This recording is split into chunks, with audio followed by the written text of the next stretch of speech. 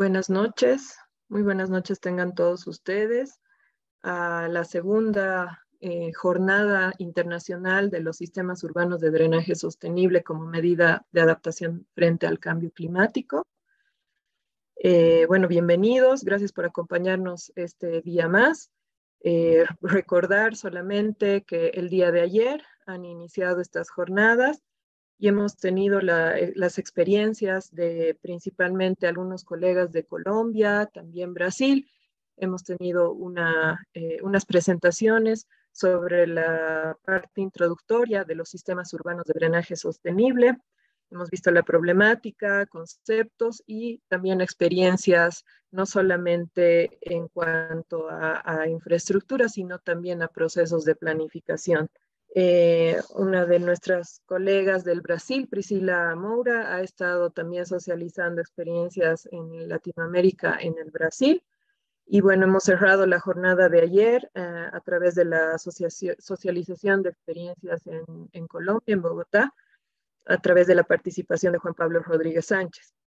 Eh, previamente estaban nuestros colegas representantes del Instituto de Desarrollo Urbano en Colombia. El día de hoy eh, vamos a mm, tratar más experiencias de SUDS, de implementación de SUDS en Latinoamérica. Vamos a ver experiencias en México, en nuestro país, en Bolivia, y también vamos a tener una presentación eh, de un análisis de la implementación de los SUDS con una colega de Colombia también. Entonces, em, bueno, solamente recordar a todos los, asistentes que las jornadas eh, también van a continuar el día de mañana con experiencias en Europa, específicamente en España. Vamos a tener varias experiencias, cinco experiencias en cinco lugares diferentes de España. Entonces quedan invitados para, el día de mañana a las, a las ocho y media. Con este eh, con esta introducción, yo voy a empezar a dar paso a nuestros primeros invitados de la noche. Eh, voy a eh, presentarlos. Ellos son Edgardo Bolio Arceo y Said Chuk Yam. Edgardo es, es arquitecto por la Universidad de Yucatán, maestro en ciencias, arquitectura por University of London y doctor en filosofía por Oxford Brookes University. Ha tenido práctica profesional independiente en diseño arquitectónico y construcción de vivienda residencial, así como en diseño urbano de conjuntos habitacionales de interés social. Ha sido profesor, secretario administrativo, jefe de la unidad de posgrado e investigación y director de la Facultad de Arquitectura de la Universidad Autónoma de Yucatán.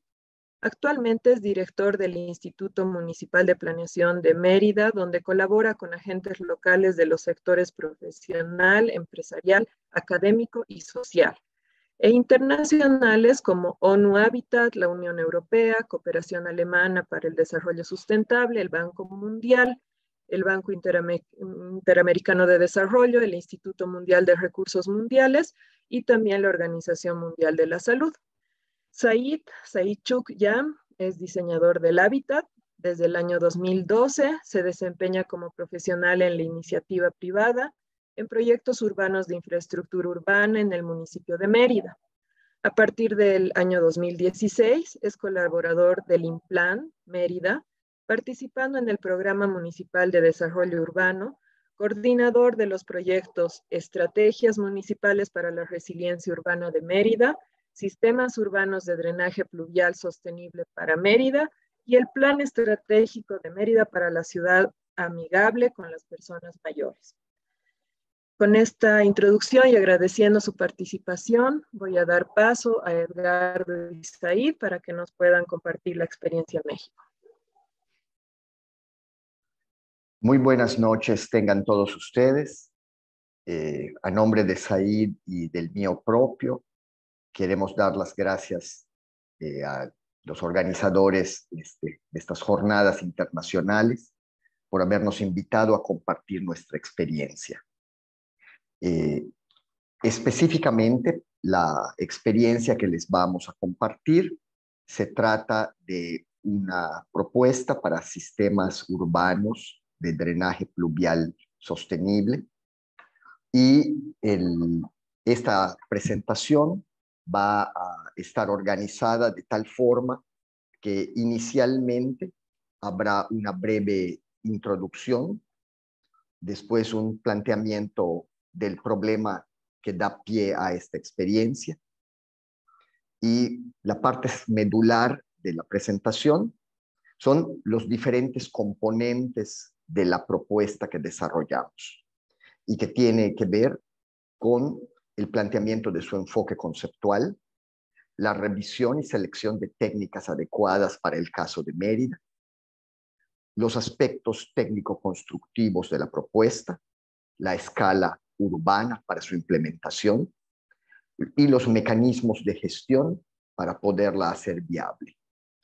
Finalmente, nos gustaría concluir con algunas expresiones de lo que hemos aprendido del proceso y alguna reflexión y retos para el futuro. Vamos a hacer la presentación entre Said y un servidor.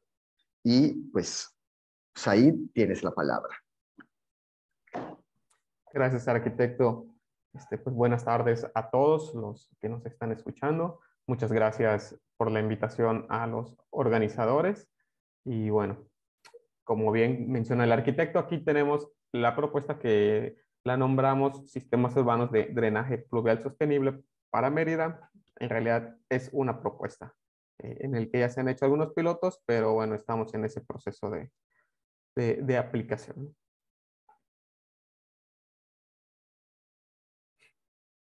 Bueno, todo inicia desde que se hicieron las estrategias de resiliencia urbana en el 2016, en el que se identificaron una serie de impactos y tensiones, en el que el resultado fue 11 temas prioritarios para Mérida en el que se, que se tenían que atender a la brevedad posible. ¿no?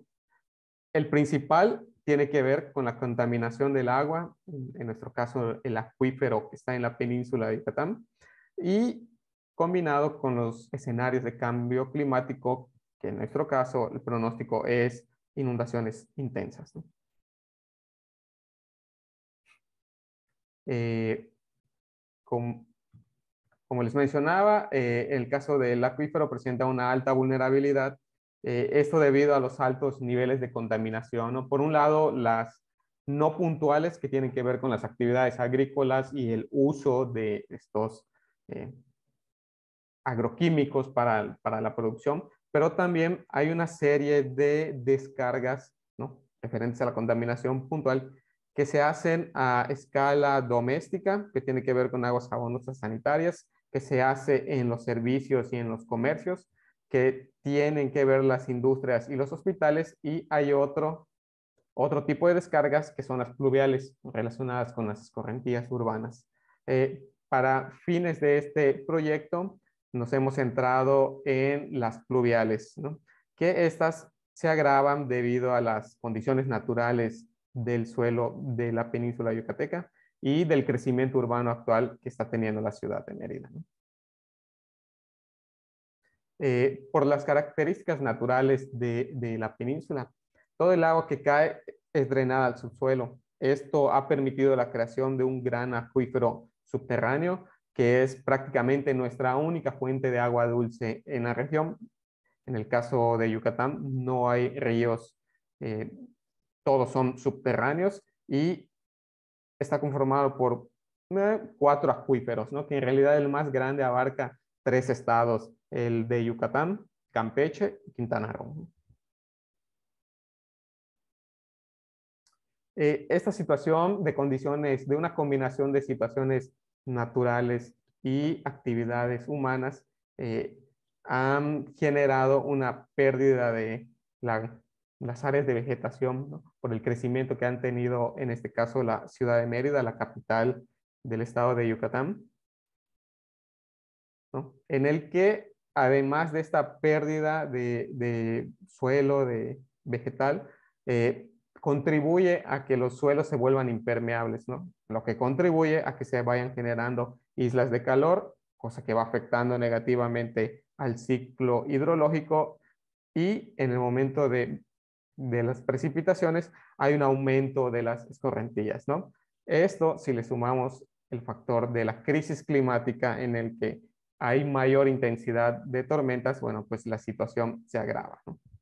Y ante esta situación, eh, lo que se ha estado haciendo en el municipio, pues son una serie de pozos y zanjas que prácticamente son hoyos que están sobre la vialidad, en el que se ha priorizado ese desalojo, principalmente por la demanda ciudadana ante al momento de la lluvia. Y hasta el 2019 se habían implementado 100.000 eh, pozos y 90.000 zanjas. Eh, como ustedes ven en la imagen de la derecha, pues estos son los, en general, los tipos de soluciones que se han eh, utilizado para minimizar ese, las inundaciones. Sin embargo, estas, todas estas no tienen un manejo adecuado del agua de lluvia y al momento de, su infiltración al acuífero. Prácticamente todas tienen una descarga directa al acuífero sin ningún tipo de tratamiento.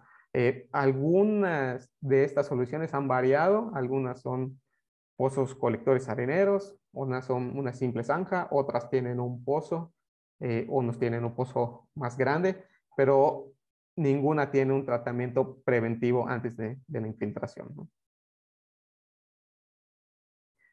La propuesta en qué consiste? Pues básicamente en aprovechar las laterales, los camellones, las áreas, áreas verdes que están asociadas a las vialidades, a las principales vialidades de la ciudad y que ahí, en estas áreas verdes, exista un proceso natural de infiltración al agua, ¿no?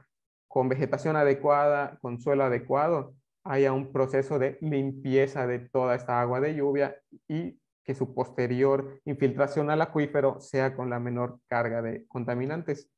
Eh, se han identificado en la ciudad de Mérida cuáles son esas calles con áreas verdes potenciales para implementar estos eh, jardines de lluvia. ¿no? Y lo que se busca es esos procesos de bioretención en, un lugar que no sea la vialidad, que no sea el arroyo vehicular, ¿no? para que en lugar de que haya una una descarga directa al, acuífero, exista un proceso previo de limpieza. Prácticamente lo que proponemos es una combinación de soluciones para el manejo del agua pluvial, en el que pueden ser eh, algunos jardines microcuenca, principalmente en los camellones, pueden ser jardines de lluvia, pueden ser zanjas de infiltración o pavimento permeable. Estas técnicas de implementación, eh, bueno, recordemos que los SUDS tienen un sinnúmero de soluciones que pueden ser aplicables, ¿no? En, la vivienda, en el espacio público, sobre la vialidad, eh, en los parques urbanos, etc. Después de un estudio de una serie de recomendaciones de expertos locales e internacionales, la conclusión fue que estas cuatro técnicas de implementación pueden ser las de mayor potencial eh, para la ciudad de Mérida, ¿no? Lo que nos permitiría, por un lado, reducir el caudal que produce la lluvia, disminuir contaminantes que son arrastrados por esa escorrentía urbana, además de mejorar el paisaje urbano con el aumento de la vegetación. Y nos dimos cuenta que respecto al sistema actual a base de pozos y zanjas, pues es de menor costo a largo plazo. Eh, existe una, una propuesta a escala urbana con estos lugares de implementación, el que considera toda la ciudad, en estas áreas permeables de las calles y los camellones, pero también eh, este proyecto fue ganador de la convocatoria de City Fix Lab de la WRI México, en el que una serie de expertos nacionales nos ayudaron a desarrollar un modelo de gestión para la implementación, además de la asesoría técnica que se tuvo eh, en cuanto a a planos, eh, mili, este, cuánta agua puede captar y todo. También existe una, una serie de acompañamiento para identificar cuáles serían esos instrumentos económicos y financieros que nos pueden permitir la creación de estas soluciones, el mantenimiento a largo plazo, ¿no? Pero también para identificar cuáles son esas normas que pueden, con una modificación, acelerar el proceso de de creación de estas soluciones. ¿no? Y después de todo, eh, bueno, más bien con todo esto es sumamente importante la participación ciudadana y de todos los actores en este tema de suma prioridad, ¿no? Que es el agua. Algo de lo que se ha hecho en la ciudad de Mérida, pues eh, son unos pilotos, justo lo que decían los actores involucrados en el que existe. Bueno, en el caso de Mérida existió un proceso de, se invitó a los actores principales, eh, se aprovechó la asesoría nacional que, se tenía, se pudo colaborar con una serie de expertos locales en, el que todos coincidían que este tema del agua, del acuífero, en, en el caso de Mérida, ha sido sumamente abordado. Se, se, conoce de la problemática, pero no había un ejercicio común para atenderla, ¿no? Por lo que decidimos invitarlos y creímos que no solo proponiendo y contando de los beneficios eh, sería como nos podían voltear a ver, sino que haciendo una serie de pilotos en el que podamos comprobar si en verdad están funcionando o no. Entonces, uno de lo, del primero que se hizo eh, fue sobre una avenida muy conocida de aquí de la ciudad de Mérida. Eh, y tenemos imágenes del proceso de construcción. Y eh, se construyeron en febrero del 2020 y lo que se hizo es después una serie de observaciones ¿no? al momento de la lluvia y posterior a la lluvia. En la imagen de, de abajo, en el centro, es una imagen que, que, en lo personal difundo mucho porque del lado eh, izquierdo se nota donde está el jardín de lluvia como después de 24 horas el agua de lluvia ya no está sobre la vialidad. Y en el caso de enfrente, donde según nuestros estudios también necesitaba un jardín de lluvia, no se logró construir y bueno, estamos viendo ahí la comparativa en una misma sección de calle de la eficiencia de, este jardín de lluvia. Otro tipo de solución se hizo en la avenida 132, una, una avenida de, al poniente de la ciudad. Eh, también tenemos imágenes del proceso constructivo cómo estaba en el 2020, ¿no? Pues prácticamente era una zona que se desaprovechaba. Y se construyó también en febrero ese mismo año un jardín de lluvia y también se hizo el mismo ejercicio de ir 24 horas después de la lluvia. Entonces, en la fotografía lo que estamos viendo es que cuando menos la inundación no está sobre la vialidad, lo que esto beneficia a la seguridad de los automovilistas y de los peatones y tiene un área destinada en el que en el proceso natural de, de infiltración se hace de la mejor manera, tiene piedras este, de diferente nivel que ayudan a esta purificación, por decirlo así, del, del agua. ¿no? Eh, también ante la evolución de este proyecto nos dimos cuenta que no únicamente el, el, suelo, la, la, piedra, los estratos que se, que se usan en los jardines de lluvia ayudan a estos procesos de bioremediación.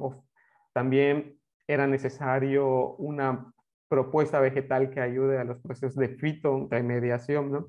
Y en este caso se desarrollaron dos, dos propuestas, una que tiene que ver con esas plantas que ayudan a reducir los contaminantes presentes, pero también hay otra propuesta que su principal interés es instalar la vegetación que sea de al, que aguante altas temperaturas. ¿no? El tema del el riego en, en, el caso de, Mérida es un poco, iba a ser un poco complicado atender en, en donde se fueran a instalar estos jardines de lluvia, eh, por lo que se hicieron estas dos. ¿no? básicamente lo que deben tener es, entre otras cosas, una diversidad de estratos, ¿no? Esto para ayudar a todo lo que tiene que ver con el diseño paisajístico y, y, y la mejora del entorno urbano, también una vegetación espinosa que no invite al ciudadano a, a pisar los jardines de lluvia, ¿no? y una, una vegetación florida, ¿no? con la finalidad de hacer atractiva la zona y para la, tanto para los ciudadanos como para la fauna urbana. Hay también una propuesta de monitoreo. Este, un poco la lógica fue de un pasar de un planteamiento general muy grande de la necesidad de atender el tema del agua a una propuesta de qué se puede hacer dentro de las atribuciones del municipio, a luego hacer un piloto y posteriormente eh, un monitoreo que nos permita, además de aprender, saber si efectivamente está solucionando los, los problemas que, para los que fue hecho, ¿no? Entonces, es un monitoreo que se basa en, uno, saber la calidad del agua filtrada, ¿no? Si efectivamente está disminuyendo la presencia de contaminantes. Y por otro lado, la de capacidad de desalojo pluvial, ¿no? Que también es una demanda ciudadana existente. Este tema está en propuesta, todavía no se ha, se ha hecho este, firmemente el, monitoreo de estos, de estos pilotos que se han implementado. Eh, continuando con la propuesta, se lo que no quisimos fue solo tener una, una propuesta que pueda ser aplicado en cierta avenida importante de la ciudad de Mérida. ¿no? Creemos que esta propuesta debe de ser incluso a nivel cuenca de la península, no, no solo tomar en, tener en consideración a la ciudad de Mérida, sino a todos los asentamientos del estado de Yucatán, del estado de Campeche y del estado de Quintana Roo, eh, sin embargo, el primer ejercicio fue una identificación de cuáles son esas áreas verdes donde existe mayor contaminación, donde existen procesos de siniestralidad peatonal o accidentabilidad.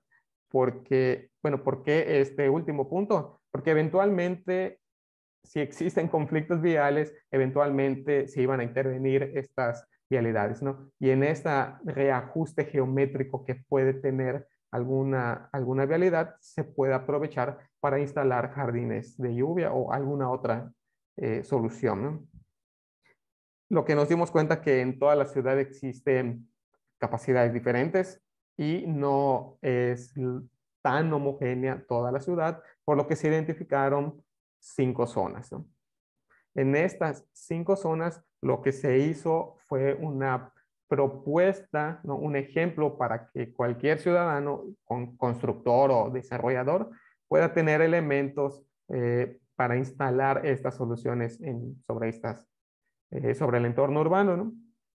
Y existe una serie de especificaciones técnicas en distintas vialidades. Se hace una... Estas imágenes sin, no le hacen justicia al, al documento porque es este, bueno, son solo dos capturas de pantalla que, se están poniendo, pero existe todo un documento que explica todo esto y lo aborda de, con mayor amplitud. Y lo que se está desarrollando ahorita son estas fichas técnicas que pueden servir a cualquier ciudadano en el que muestra el proceso de construcción, las medidas estándar que pueden ser utilizadas en, las calles y un ejemplo de las soluciones de cómo podrían verse en su entorno inmediato. Y bueno, eso sería la parte de, de la propuesta, bueno, desde la concepción la conceptual hasta el proceso de pilotaje y bueno, cómo podríamos y qué se podría hacer. Bueno, y a partir de aquí iniciamos con las propuestas del modelo de gestión, que es justamente para llevar a cabo esto que se está proponiendo. Gracias, Said. Bueno, pues eh, lo que hasta ahorita ha planteado Said, pues atiende las dimensiones de carácter técnico constructivo y también de impacto ambiental y urbanístico. Sin embargo, venía el siguiente reto. ¿Cómo hacerlo? ¿Cuánto cuesta? ¿Cuánto tarda? ¿Qué reacción tendría la ciudadanía ante una intervención urbana de esta escala? Empezamos en esta imagen por hacer un estudio de cuánto ha eh, invertido el Ayuntamiento de Mérida en los últimos años en, en esta temática, en temas de drenaje de manera convencional. Entonces, nosotros aquí identificamos que se utiliza normalmente 14 millones de pesos para temas de drenaje en la ciudad. Y pensamos, si el ayuntamiento destinara el 10% de este dinero para implementar una prueba piloto, tardaríamos 300 años en modificar el sistema o la solución de drenaje de la ciudad. De entrada es imposible. Aún más, si utilizáramos íntegramente todo el presupuesto que se destina para el drenaje de la ciudad, para implementar de ahora en adelante sistemas con modelos basados en la naturaleza, tardaríamos de todas maneras cerca de 40 años. Entonces, pues el enorme reto es cómo reducimos el tiempo para implementar y cuáles pudieran ser diferentes opciones para que esto pueda realizarse. ¿Podrías pasar a la siguiente lámina, por favor? Entonces, nosotros nos preguntábamos, bueno, ¿qué tipos de cosas habría que hacer? ¿Cuál es el modelo de gestión que tendríamos que diseñar para lograr que esta, esta, esta, estas transformaciones urbanas puedan implementarse? Y encontramos pues una combinación de componentes, entre las que hay algunas de carácter financiero, otras de carácter normativo, otras que tienen que ver con la gobernanza, la participación ciudadana, otras más con las alianzas público-privadas para implementar las acciones, unas todavía más que están relacionadas con la cultura ciudadana y la educación ambiental. Es decir, el proyecto no es suficiente cuando solamente se percibe su dimensión eh, técnica o ambiental. Y uno de los componentes importantes de esta propuesta es vislumbrar la problemática desde diferentes perspectivas. Y entre ellas, aquí en esta lámina se ven que alguna de las propuestas está relacionada con asociar las tarifas del agua con tarifas del drenaje o eh, eh, eh, implementar mecanismos en los cuales los habitantes den contribuciones por mejoras para las obras públicas o que haya convenios de participación y de alianza entre actores clave. Entonces, en realidad necesitamos pues una combinación de medidas que son complementarias y articuladas entre sí. Adelante. Aquí tenemos algunas de las propuestas que estamos viendo de colaboración y coordinación entre actores clave que estarían involucradas en acciones de estudios, monitoreo, seguimiento, financiamiento, de diferentes maneras que la legislación mexicana y la del Estado de Yucatán nos permitiría operar sin gran dificultad. Adelante. También pensamos que había una cuestión esencial. Tiene que ser aliado del proyecto toda la sociedad, la ciudadanía. El problema central de este tema es que no se ve el problema, porque el drenaje y el agua están bajo tierra y la contaminación está bajo tierra y no se nota entonces, dado que no se ve, aparentemente no existe. Entonces pensamos que es fundamental que haya el conocimiento y la conciencia ciudadana del problema. Es decir, esa sería la primera fase. La segunda, una adopción, una participación activa para redes de cooperación entre ciudadanos, vecinos, universidades, instituciones de toda índole para cuidar lo que tenemos, operarla, mantenerla y ponerlas en práctica. También necesitamos replicar los ejercicios preliminares a escala urbana y en gran medida en diferentes áreas de la ciudad.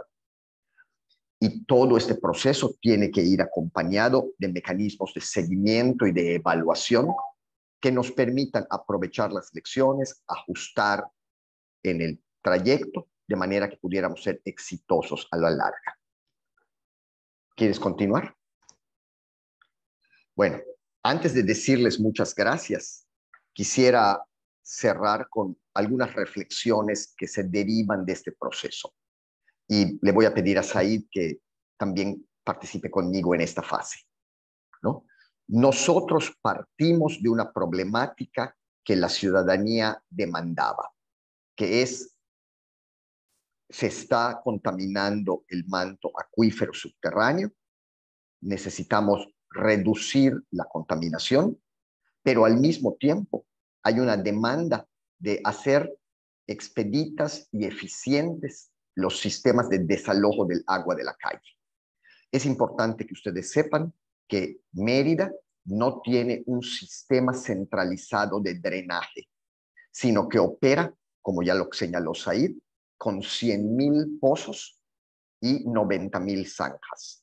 Mérida tiene 3.000 kilómetros de calles y por lo tanto tiene, digamos, un pozo cada 50 metros en todas las direcciones.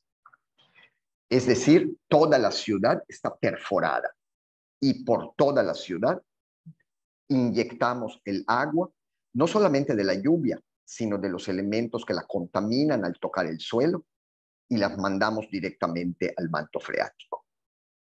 Entonces, nos dimos cuenta de la necesidad de abordar la problemática desde una visión multidimensional en el cual en el centro de la atención efectivamente siguen estando los aspectos técnicos y ambientales, pero tenemos que ir complejizando el problema y encontrando una solución integral en donde las dimensiones urbanísticas, sociales, financieras, de gestión, de normativa, todas entre sí, además asociadas con las políticas públicas y con la planeación de largo plazo. Entonces, creo que en principio una de las aportaciones de esta propuesta es esta visión más holística, más integral de una problemática que está en proceso de atención. Said. Prácticamente coincido con, este, lo que dijo. Eh, únicamente añado que bajo esa, eh, bajo una premisa con la cual actuamos el, el proyecto fue que el agua es un bien común, es de todos, es, prácticamente de todas las personas que habitamos, y no solo de las personas, de todo el ser que está en este, este planeta. Y creemos que por eso la responsabilidad en el uso, en el manejo del agua, pues también debe ser de todos. Entonces, este proyecto lo que inicialmente hizo fue invitar a los actores sean este, de la iniciativa privada, sea este, el ciudadano común, o sean instituciones públicas. Eh, nosotros ahorita estamos ante el reto de eh, pasar a un nivel de implementación de mayor escala. Hemos hecho unas pruebas piloto, pero evidentemente para poder estar digamos, con la solidez y la, y la confianza de recomendar esta como una solución viable, es indispensable pasar a una escala de implementación mayor, un esquema de monitoreo y evaluación de los resultados que nos garanticen que efectivamente la hipótesis se confirma y al mismo tiempo ir abonando en este esquema de educación ambiental, concientización ciudadana y ajustes, innovaciones a la legislación y a los mecanismos de financiamiento que nos permitieran entonces no solamente tener propuestas, sino materializar las acciones en beneficio de una temática que es de alta relevancia para los habitantes de nuestra región. Muchas gracias. Muchas gracias, Edgardo. Muchas gracias, Said. Muy interesante. Gracias por los mensajes clave también. Tenemos unas cuantas preguntas eh, de, de, los participantes que, bueno, son unas, creo que son tres o cuatro. Y en, en, honor al tiempo les voy a pedir, por favor, si pueden ser también las respuestas concretas. Voy a empezar con la primera. Eh, Jaime Rodrigo Tamayo consulta si en el diseño de SUTS se evalúa las variaciones de presiones de poros al interior de los suelos y también pregunta, eh, le gustaría saber cuál es la instrumentación que se sugiere para realizar el monitoreo de los SUTS. ¿Quieres contestar, Sai? Sí, sí. Eh, para medir el cálculo de, de los metros cúbicos que se necesitan, tienen que tomarse en consideración eh, la precipitación pluvial, el suelo, cuánto de permeabilidad tiene, o sea, el área tributaria en el que se está cayendo. Hay una serie de, de matemáticas que tiene que ver ahí con ingeniería, en el que sí, para el diseño de, de, incluso calle por calle en la vialidad sobre la que se va a hacer, tendría que hacerse este ejercicio en particular. En el caso del monitoreo, eh, nosotros nos estamos ajustando a una NOM aquí de, México, que es la 015, que habla de, la infiltración artificial de, agua a los acuíferos. Ahí establece una serie de, contaminantes que tienen que ser medidos, ¿no? Eh, grasas y aceites, materias flotantes, sólidos sedimentables, sólidos suspendidos, nitrógeno total, eh, fósforo y coliformes focales. Fecales, perdón. Y en ese sentido es en el que se, se, basa eh, la medición de la calidad del agua, da una serie de disposiciones esta NOM. Y bueno, hay otra que tiene que ver con el desalojo de agua. Arquitecto. Muchas gracias. Ahí tenemos otra pregunta de Néstor. Él quisiera saber cómo hacer que el usuario pague por un servicio como lo es el drenaje pluvial urbano, aparte de la concientización. En el caso de Mérida, eh, nosotros, voy a referirme al tema de la electricidad. Eh, todos los ciudadanos pagan el consumo eléctrico de su domicilio de su propiedad, de su negocio, de lo que fuera. Pero pagan 5% extra del consumo y ese 5% extra paga el alumbrado público. Es decir, todos los ciudadanos contribuimos en el mismo momento en el que estamos pagando el consumo particular a la iluminación pública. Pensamos que un esquema de esta naturaleza también podría asociarse con el agua, de tal manera que pudiera haber una cuota de compensación adicional al precio que se paga por el agua potable. Said también valoraba que podría haber una cuota, a lo mejor por recolección de residuos sólidos, o de alguna manera que pudiera quedar asociado a una forma regular y permanente de cobranza que permitiera darle viabilidad financiera a la operación de un sistema eh, más sostenible. Perfecto. Y la última pregunta, tenemos eh, la pregunta de Jaime Tamayo, si la implementación de los SUTs obliga a limitar las alturas de construcción de los edificios. No, en el caso de nosotros no hemos visto que esto fuera necesario, porque la ciudad es una ciudad, digamos, en términos generales, de dos pisos de altura, ¿no? Tres pisos, cuando mucho. Entonces, realmente, aunque existen edificios altos, todavía no es una temática importante en la, eh, en la planeación del desarrollo urbano local.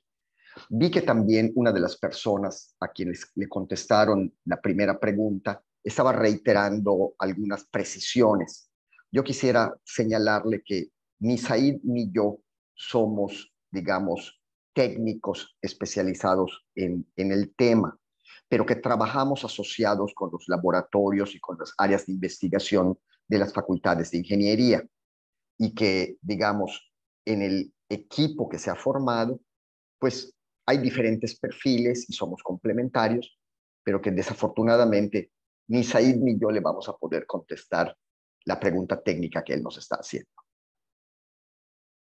Muchas gracias, Edgardo. Said, también, bueno, recordar a, todos los participantes eh, que vamos a hacer una memoria del evento con todas las presentaciones y los datos también de, de los ponentes.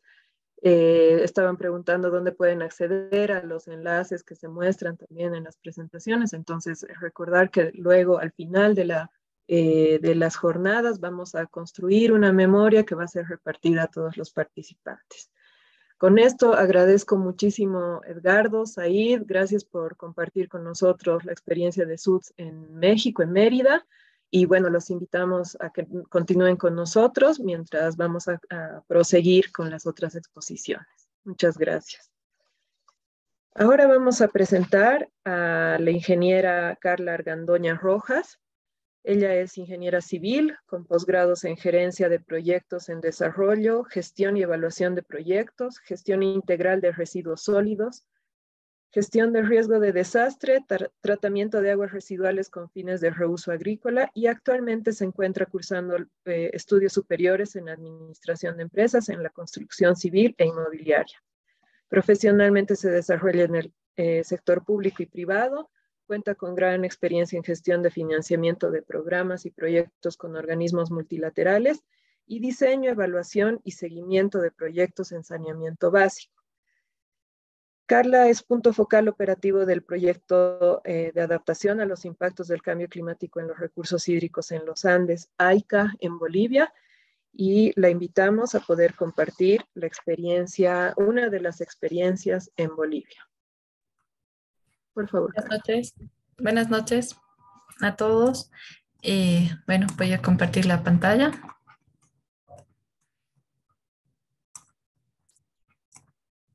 Primeramente,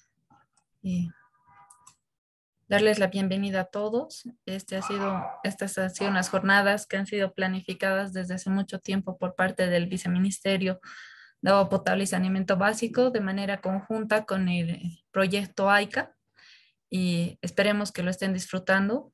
Eh, nos hemos esforzado mucho para traer eh, profesionales eh, de gran renombre para que compartan su experiencia.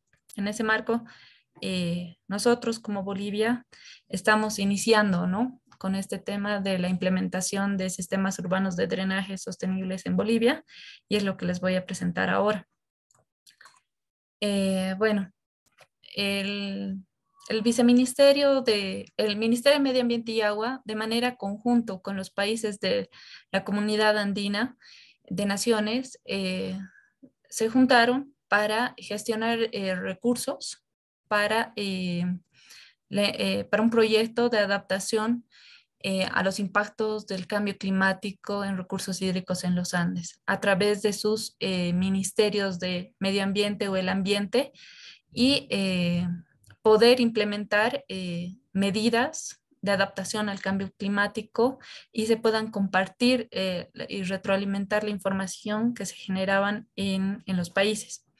El proyecto, el proyecto tiene como objetivo generar información y conocimientos y herramientas y retroalimentar la inclusión de las consideraciones de variabilidad climática y cambio climático en las, en las políticas de planificación e inversiones eh, en terreno eh, y la promoción y la colaboración eh, del aprendizaje sur-sur y transferencia tecnológica. Y es importante señalar que uno, de los, otro de los principales objetivos del proyecto es la generación e intercambio de, la, de información. En ese marco es lo que se está realizando este, este, estas jornadas para que eh, todo el mundo pueda tener acceso a la información que estamos generando con este proyecto. Eh, lo, interesante de este proyecto es que eh, como, eh, como, los países hemos intervenido en diferentes sectores, Bolivia está interviniendo en el sector de saneamiento básico, Perú en riego menor, Ecuador en energía y Colombia en agricultura de alta montaña. Nosotros, ¿por qué Bolivia ha escogido el tema de saneamiento básico? Porque necesitamos empezar a ver eh, maneras de adaptarnos a, los eventos, a los efectos del cambio climático. Entonces, eh, como ustedes saben, el crecimiento poblacional que hemos tenido, eh, que estamos teniendo en las áreas urbanas, sabemos que el más del 70% de la población ya boliviana vive en en las áreas urbanas, esto ha generado que se impermeabilicen, que se impermeabilicen eh, las áreas urbanas debido a, la pavimentación y dejando, eh, dejando de tener áreas naturales y eh, por lo tanto sin tener infiltración que ayude a mejorar esta situación. Eso, aumentado a los, a los efectos del cambio climático con precipitaciones intensas, eh, de duraciones cortas han generado que gran parte de las ciudades eh, sufran inundaciones. Entonces, nosotros necesitamos eh, empezar a adaptarnos, necesitamos empezar a generar mecanismos. En ese marco es que hemos empezado a trabajar como país en drenaje pluvial. nuestro, el proyecto, el proyecto AICA, tiene un área de intervención en Cochabamba, en el departamento de Cochabamba, en la región metropolitana Canata de Cochabamba. Esta se encuentra ubicada en, el, en la cuenca del río Rocha y, y también la cuenca del río eh, Sulti. ¿no? Eh, nosotros, eh, cuando realizábamos la priorización la priorización de dónde íbamos a implementar estas medidas de adaptación, los sistemas urbanos de drenaje sostenible, eh, hemos eh, primado la, parte técnica, la parte geográfica, la gobernanza, la gobernabilidad y la sostenibilidad. En la parte técnica, eh, cuando iniciábamos el proyecto, o sea, a medida que iniciaba el proyecto AICA, estaba en formulación y actualización el plan director de la cuenca del río Rocha. Y nosotros hemos esperado los resultados que se, tenían de este, de este documento, ya que este incorporaba escenarios eh, de cambio climático y en todas las modelaciones, en la modelación hidrológica. Entonces, eh, con e, eso, eh, eso nos iba a servir como un instrumento fundamental para priorizar nuestra, nuestra área de intervención. A partir de la formulación del plan director, ha dado resultados, ha dado ha, dado resultados de las áreas de inundación, eh, tanto para áreas agrícolas como para áreas urbanas. Entre ellas, eh, acá nos puede apreciar muy bien, sin embargo, acá este es eh, un mapa de la cuenca del río Rocha y la cuenca del río Sulti, en la cual se puede identificar áreas con las áreas que tienen la susceptibilidad a, inundación. Eso nos ha servido para, como les decía, en diferentes municipios ver dónde podríamos eh, intervenir y, e implementar nuestro piloto.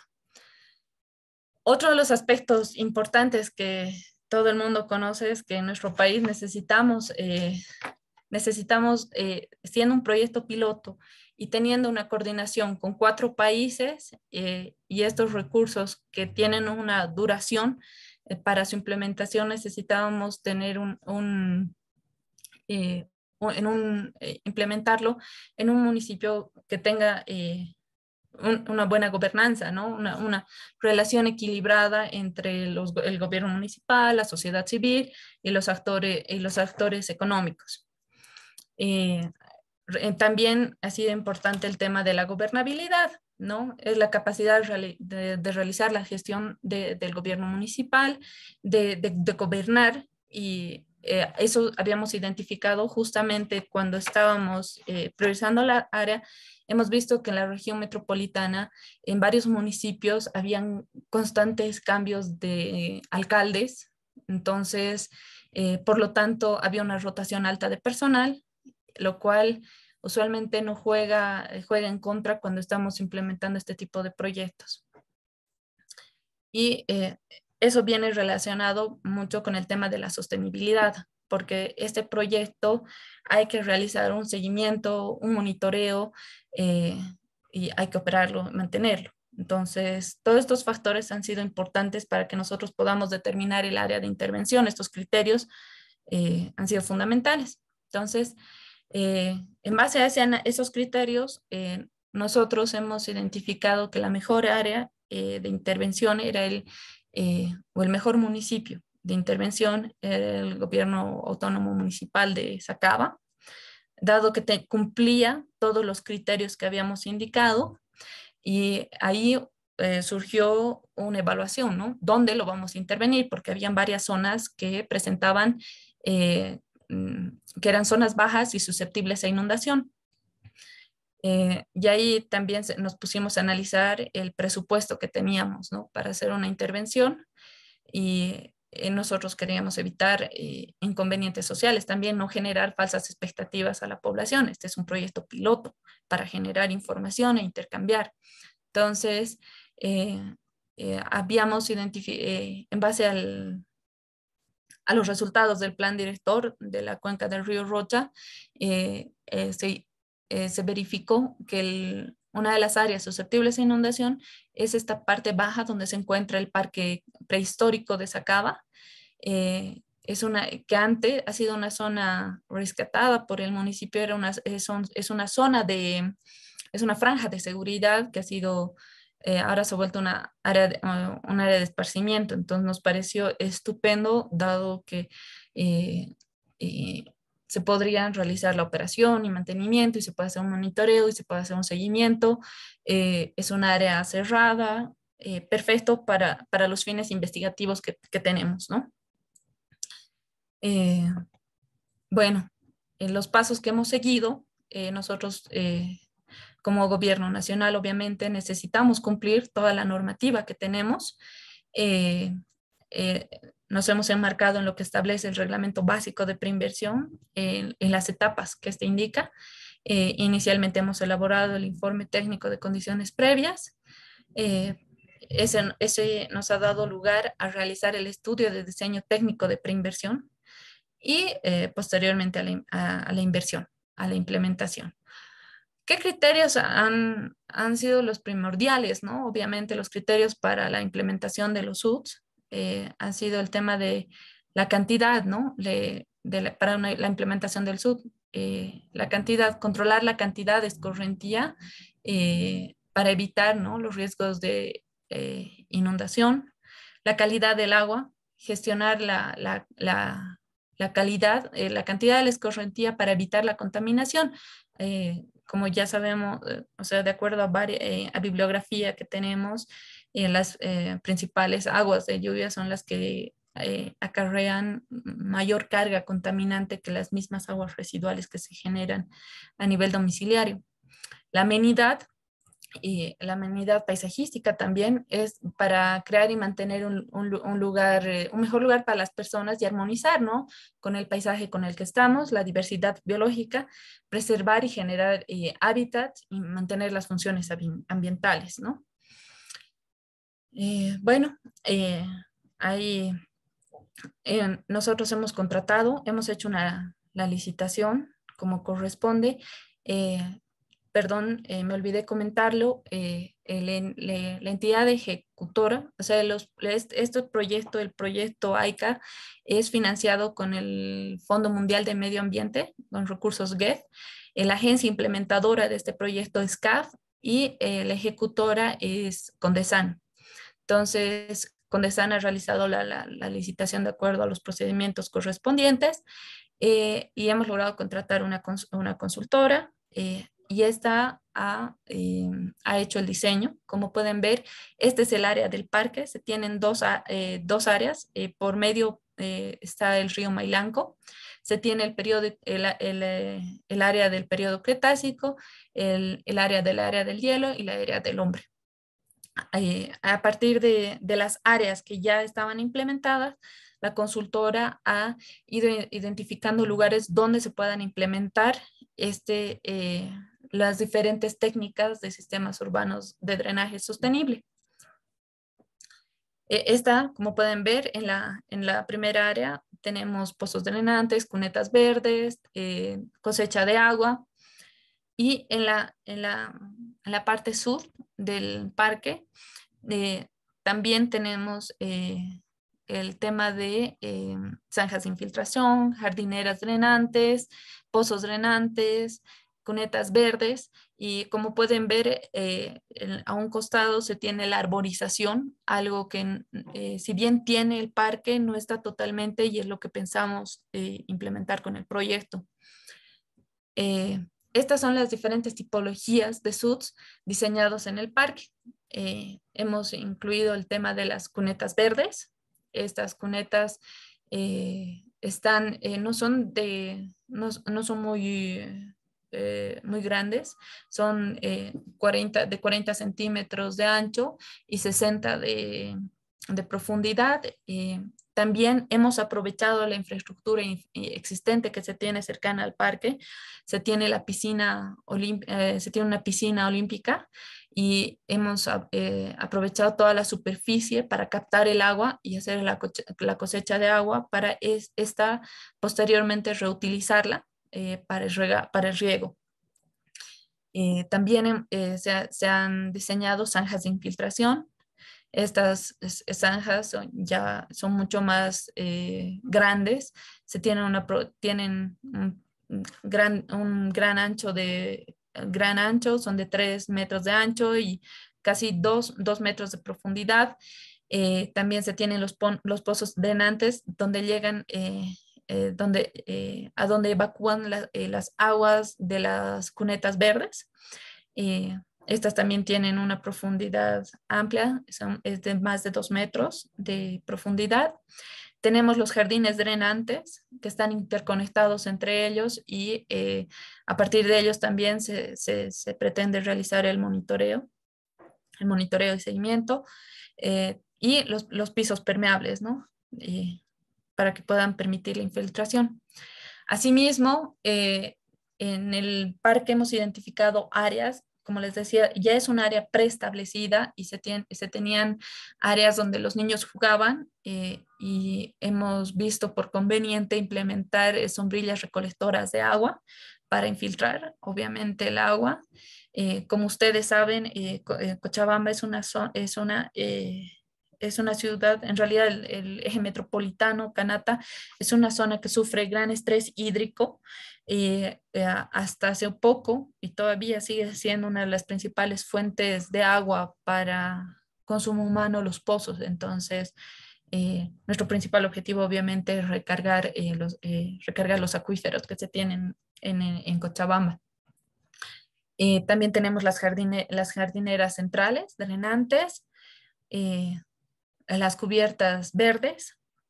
Eh, esos estamos hablando en, eh, en SUDs estructurales, pero también hemos identificado que se requiere eh, sistemas urbanos SUDs no estructurales que complementan a las medidas ya indicadas. Entonces, tenemos la arborización, el tema de bancas, eso sí, hemos identificado que faltaban, si bien se tenía, pero eh, con, tanta población infantil que se tiene, eh, siempre faltan. Señalética para informar a la gente qué es lo que se está haciendo eh, y para qué sirven este, este tipo de técnicas y el centro de información, el centro de información para, para capacitar a la gente, ¿no? A, los niños que, que, son el futuro, ¿no? Y son los agentes de cambio eh, para el proyecto, o sea, para, no solo para el proyecto, sino en general. Entonces es donde queremos reforzar eh, este tipo de conocimiento. Uy, ah, eh, aquí es importante que nosotros podamos indicar los retos que hemos tenido durante la elaboración del estudio, dado de acá, como les decía, nosotros principalmente, igual que el, proyecto adaptación al, al, al, cambio climático, nosotros también nos hemos tenido que adaptar, adaptarnos eh, respecto a la normativa, a, a, los criterios y a la metodología de otros países. Eh, en el país eh, no tenemos una normativa, si bien en el reglamento de drenaje pluvial urbano que tenemos actualmente, de que está en vigencia desde el 2010, habla de manera genérica, pero no hay unos criterios de diseño y metodología. Entonces, hemos tenido que, eh, de manera conjunta con la empresa consultora, eh, ir adoptando eh, criterios, o sea, de Inglaterra, Siria, teníamos, teníamos de Estados Unidos, tenemos, teníamos, teníamos de diferentes países y hemos tratado de ir adaptando y escogiendo cuáles eran los que más eh, se adaptaban a, nuestra, a nuestro contexto eh, nacional. Eh, otro de los retos ha sido armonizar los UTS, o sea, las técnicas con la temática del parque. en, la, en, la, área cretácica es un área que ya, ya estaba totalmente preestablecida, donde no hemos tenido mucha área de acción, pero sin embargo hemos, hemos tratado de aprovechar la mayor área que se ha tenido eh, eh, para implementar estas técnicas em, y armonizar con la temática que es eh, de los de dinosaurios, ¿no? También las empresas consultoras del país en general no están acostumbradas a realizar proyectos integrales. ¿A qué me refiero? estamos acostumbrados a la parte técnica y a través del proyecto no solo vemos la parte técnica, sino también vemos el tema del enfoque de género, eh, eh, vemos el tema de, eh, de ser...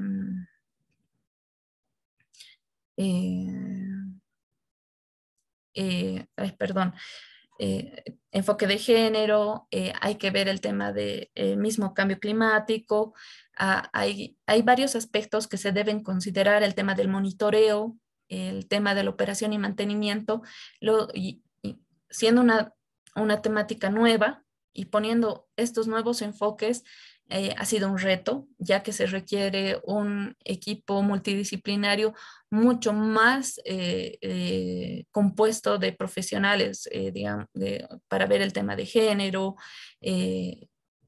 cosas que no estamos acostumbrados usualmente los como un proyecto de agua potable y demás, o sea, darle mayor énfasis.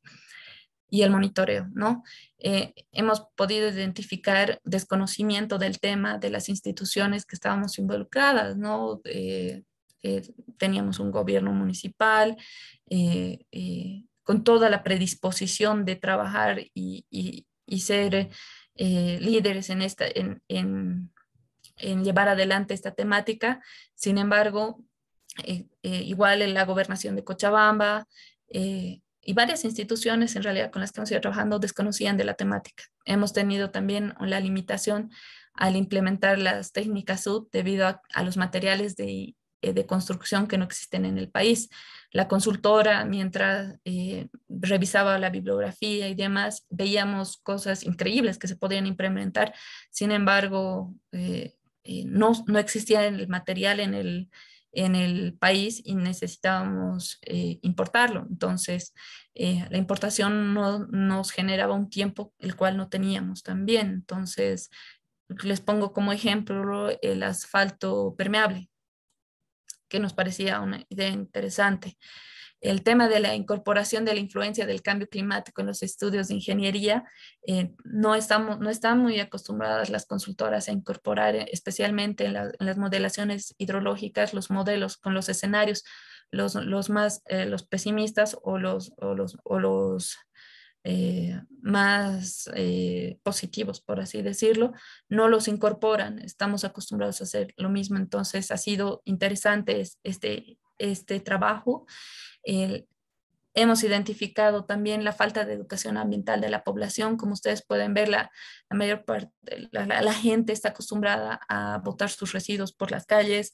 y esto afecta a, los sistemas de drenaje convencionales y, eh, ya se imaginarán cómo afecta un, eh, afectaría aún más con un sistema urbano de drenaje. Entonces, eh, eso también hemos considerado.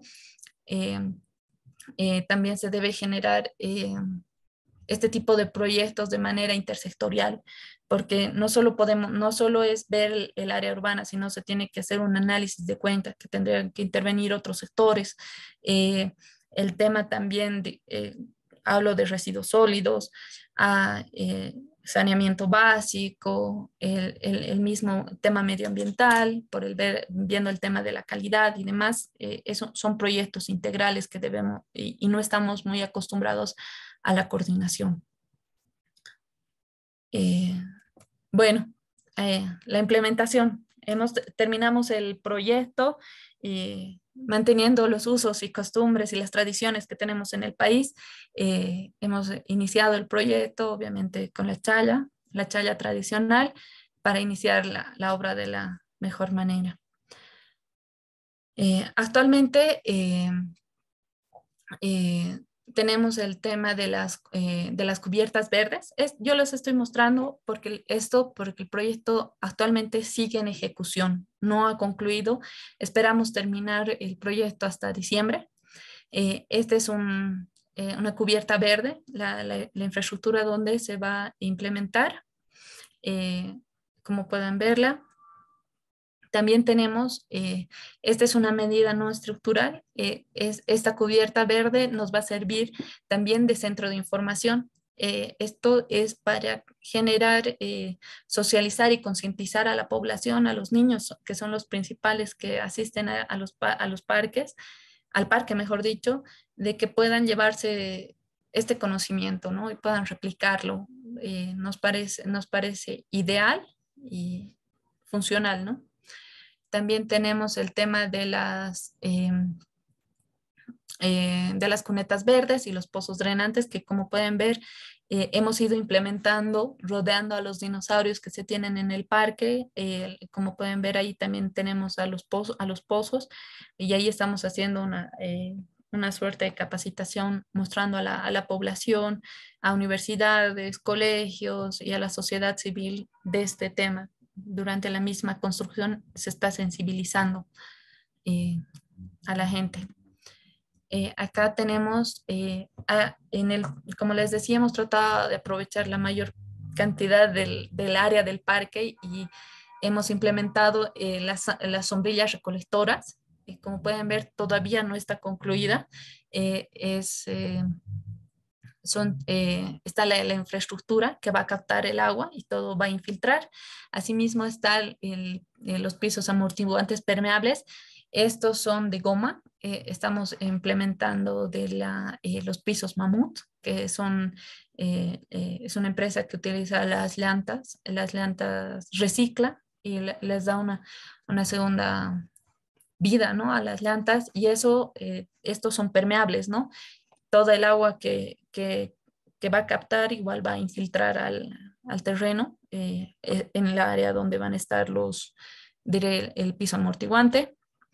Eh, no, como les decía, nosotros como, como proyecto no solo, no solo nos hemos enfocado a ver el tema del, de la parte infraestructura y solo enfocarnos a los SUDs, también hemos buscado generar un poco de conciencia y eh, somos eh, eh, integrales en todos los sentidos. Hemos implementado, se ha identificado que en el parque no se tenía un baño para personas con discapacidad. Entonces, hemos implementado esto y también, como pueden ver, parte de las actividades del, enfoque de género está el tema de los cambiadores que se tienen ahí para los padres, las madres que van con bebés y puedan eh, cambiar a los niños y tengan la comodidad. ¿no?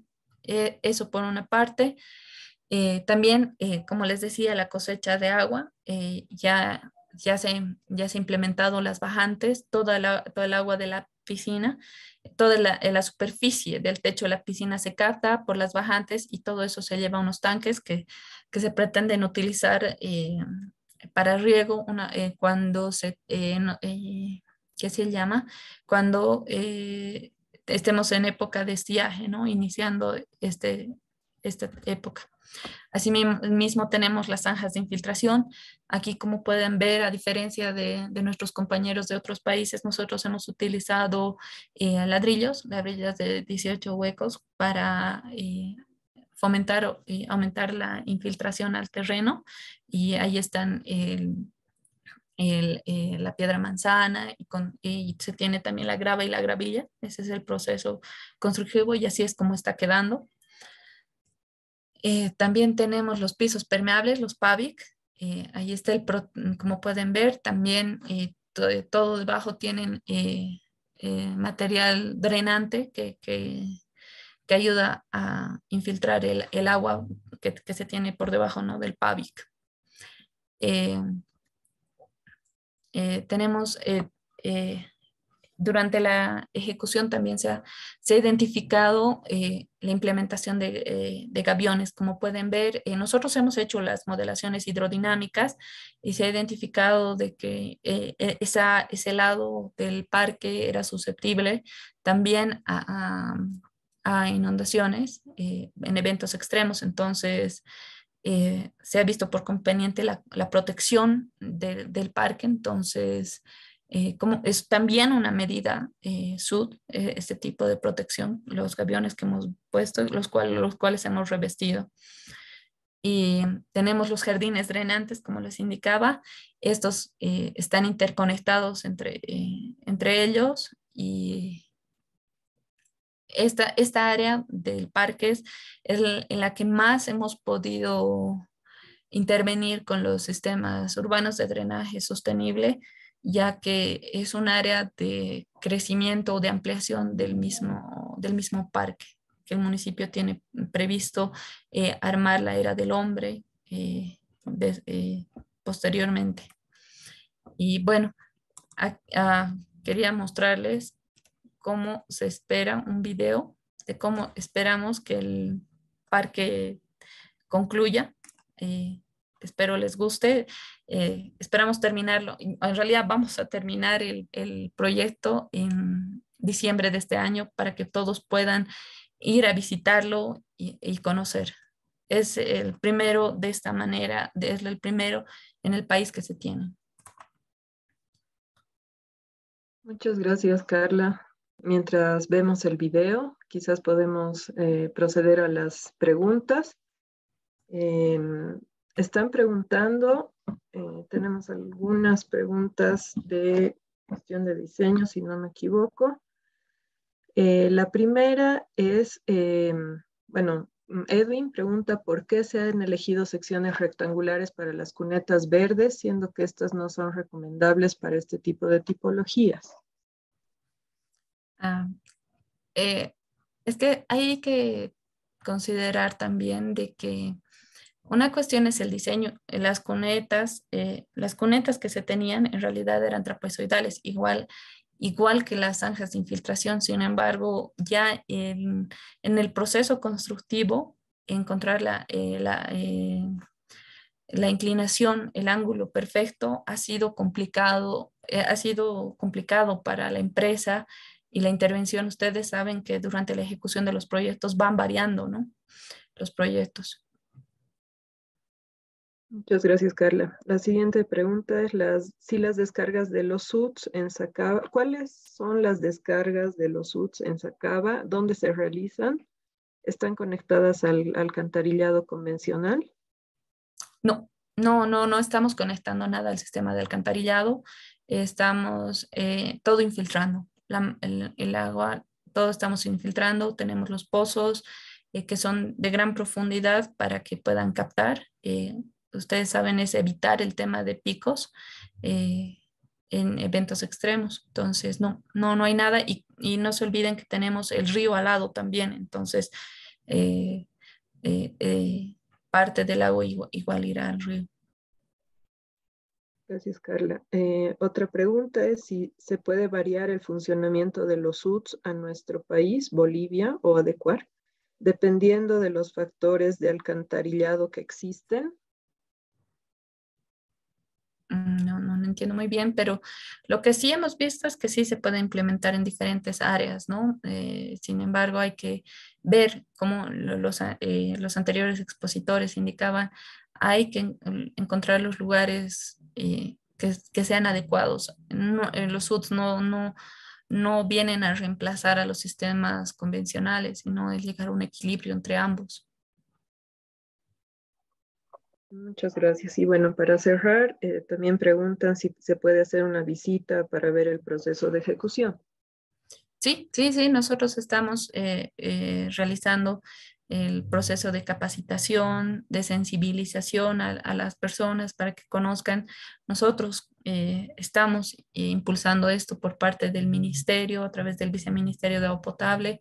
Estamos trabajando de una manera coordinada con el gobierno municipal y es importante, me, me había olvidado rescatar eh, todo el apoyo que hemos tenido del gobierno municipal. Eh, realmente sus técnicos, el alcalde, ha sido, eh, han, han, estado con, tan, tan predispuestos a implementar este tipo de medidas que durante la ejecución, como todo proyecto, igual han habido problemas sociales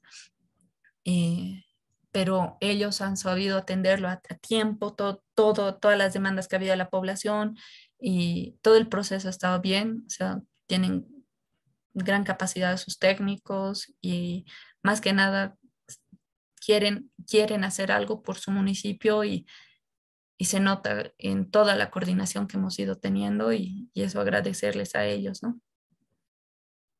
Gracias, Carla. Bueno, en, en virtud del tiempo hay algunas preguntas más, pero eh, como hemos mencionado el día de ayer, también estamos haciendo un banco de preguntas para poder ir contestándolas eh, también al, final de las jornadas. ¿no? Entonces, eh, agradeciendo mucho, Carla, tu participación, vamos a pasar a la siguiente exposición. Gracias por la, por la experiencia en Bolivia. Acá solo mostrarles una foto del equipo con, con, con el personal del gobierno municipal. Muchas gracias a todos. Gracias, Carla. Bueno, mientras preparamos la siguiente presentación, voy a eh, mencionar a nuestro tercer panelista, que es el doctor José Luis Montaño García. Eh, el doctor eh, Montaño en el año 1979 culminó sus estudios en la Universidad Mayor de San Andrés en la carrera de Ingeniería Civil Posteriormente desarrolló estudios en Argentina y en 1984 estuvo becado en el Servicio Geológico de los Estados Unidos en Colorado. Posteriormente realizó sus estudios de maestría en obras hidráulicas en la Universidad de Múnich, República Federal de Alemania, y en la misma universidad, en el Instituto de Investigación de Recursos Hídricos de Múnich, realizó sus estudios de doctorado, obteniendo el grado de PhD con grandes honores. Volvió al país y se integró al Instituto de Hidráulica e Hidrología de la Universidad Mayor de San Andrés. Allí participó en varios trabajos científicos, de los cuales se puede anotar las dos versiones del balance hídrico de Bolivia, 1982 y 2017, evaluación de eventos extremos de precipitación junto al Servicio Nacional de Meteorología, análisis de tendencias de las variables hidrometeorológicas bajo escenarios de cambio climático, y ha cumplido las funciones de vicedecano y decano de la Facultad de Ingeniería desde 2001 hasta 2006. El doctor Montaño ha sido consultor y asesor de varios organismos internacionales como el BID, Banco Mundial, CAF y la Unión Europea. Ha realizado varios trabajos de relevancia nacional como consultor, así como proyectos en otros países de la región. Ha sido formador de varios profesionales del país y actualmente es investigador científico del Instituto de Hidráulica e Hidrología de la OMSA. Con esta introducción pasamos eh, la palabra al, doctor Montaño para que nos pueda compartir las experiencias, más experiencias en Bolivia.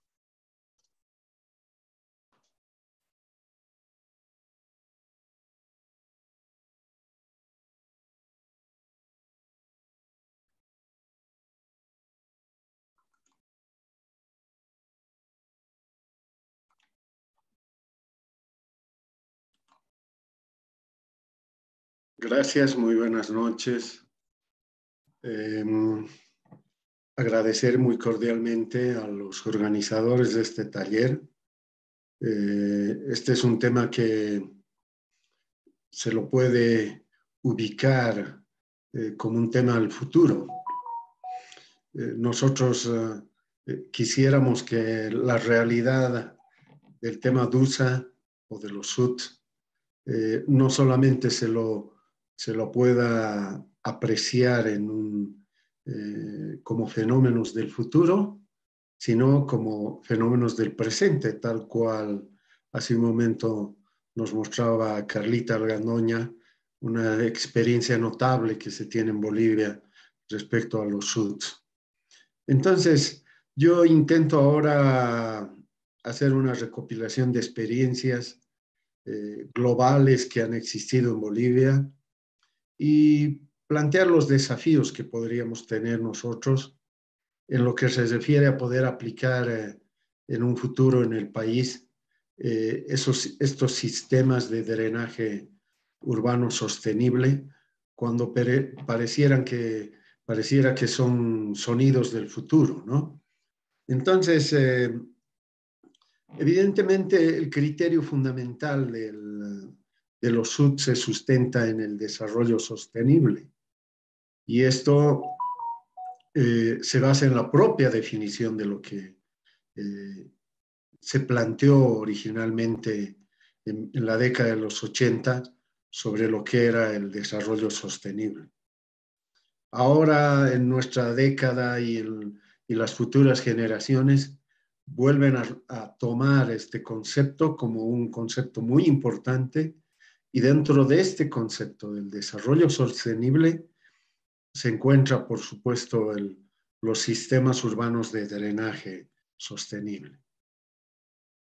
La conferencia de Dublín sobre el agua y medio ambiente, que se celebró en 1992, se proclamaron los principios básicos que luego serían el sustento de las siguientes décadas. Eh, se elaboró una estrategia denominada gestión integrada de los recursos hídricos, algo que en décadas anteriores no, no se lo concebía, pero que definen el camino del manejo del agua en, en todos nuestros países y en nuestra sociedad. El diagnóstico actual de la gestión del agua urbana que se plantea en el, Banco Mundial 2012 eh, ya alerta sobre tres aspectos básicos. Una rápida urbanización del territorio, que es un crecimiento notable de la población urbana, modificaciones al uso del suelo, y el incremento de la contaminación difusa. La vulnerabilidad ante el cambio climático, que es el segundo elemento, que es algo que lo vivimos, estamos viviendo todos los días y sabemos de que bajo, eso, bajo ese escenario de cambio climático ya cambió todo, cambió nuestra vivencia, cambió la geomorfología del planeta, cambiaron el cambió el régimen de precipitaciones, cambió cambiaron los procesos hidrológicos eh, en las cuencas del mundo. Y la gestión hídrica ineficaz, que ya también eh, se lo planteaba en ese momento, o lo planteaba el Banco Mundial, donde ya eh, formulaba problemas de déficit hídrico, de una gestión eh, muy limitativa en, lo que se refiere al, al manejo del agua. Entonces, allí se conforma el camino hacia el DUSA, ¿no? Y el DUSA es el término global, evidentemente, que involucra a lo que es el drenaje urbano sensible al agua un, concepto que eh, no es eh, un elemento mm, que puede ser eh, desarrollado por una especialidad o por los hidrólogos que tienen que ver con el agua, sino que es un elemento transversal en todo sentido y que luego lo vamos a plantear en, los desafíos que incorpora el poder implementar en, los sistemas de drenaje urbano sostenible en Bolivia. Los objetivos son reducir los flujos de aguas pluviales a través de una urbanización más permeable, reducir la contaminación del agua utilizando, utilizada en el medio urbano, aumentar la provisión de agua de suministro, minimizar la generación de agua residual y evitar su mezcla con el agua pluvial. Estos cuatro elementos ya nos definen lo que es el concepto DUSA. Uno tiene que ver con el tema de las crecidas, el otro sobre el tema de contaminación y finalmente agua para suministro, que es algo que eh, surge como un elemento colateral importante del manejo de los sistemas de los SUDS. La nueva visión del manejo del agua urbana, por lo tanto, que, lo plantean nuestros colegas eh, españoles en, lo que se refiere a la integridad del, concepto general, eh, nos muestran que eh, el DUSA tiene que ver con las aguas de abastecimiento, tiene que ver con las aguas residuales y con las aguas pluviales y descorrentivas. Entonces, es una integridad que se desarrolla en el territorio y en el entorno general. El, el DUSA, sin embargo, no pareciera ser solo un tema técnico, porque a veces los ingenieros eh, pecamos de concebir eh, el, manejo de la, la, gestión del agua o la gestión de los recursos hídricos solamente desde el punto de vista técnico. Y consideramos de que eh, uno de los elementos principales de la conceptualización de los recursos hídricos de manera integral es el componente social. Y cuando uno les dice a los estudiantes, el agua no es solamente H2O, sino más bien el agua es un elemento social, entonces se cambian los paradigmas de lo que durante décadas hemos manejado como concepto relacionados con el agua. Entonces, acá se sustentan eh, varios elementos que son los factores sociopolíticos acumulados que se muestran en esta, en esta gráfica. La ciudad con, con agua potable como una evidencia eh, primaria de lo que uno esperaba en, en los siglos pasados. La ciudad con alcantarillado.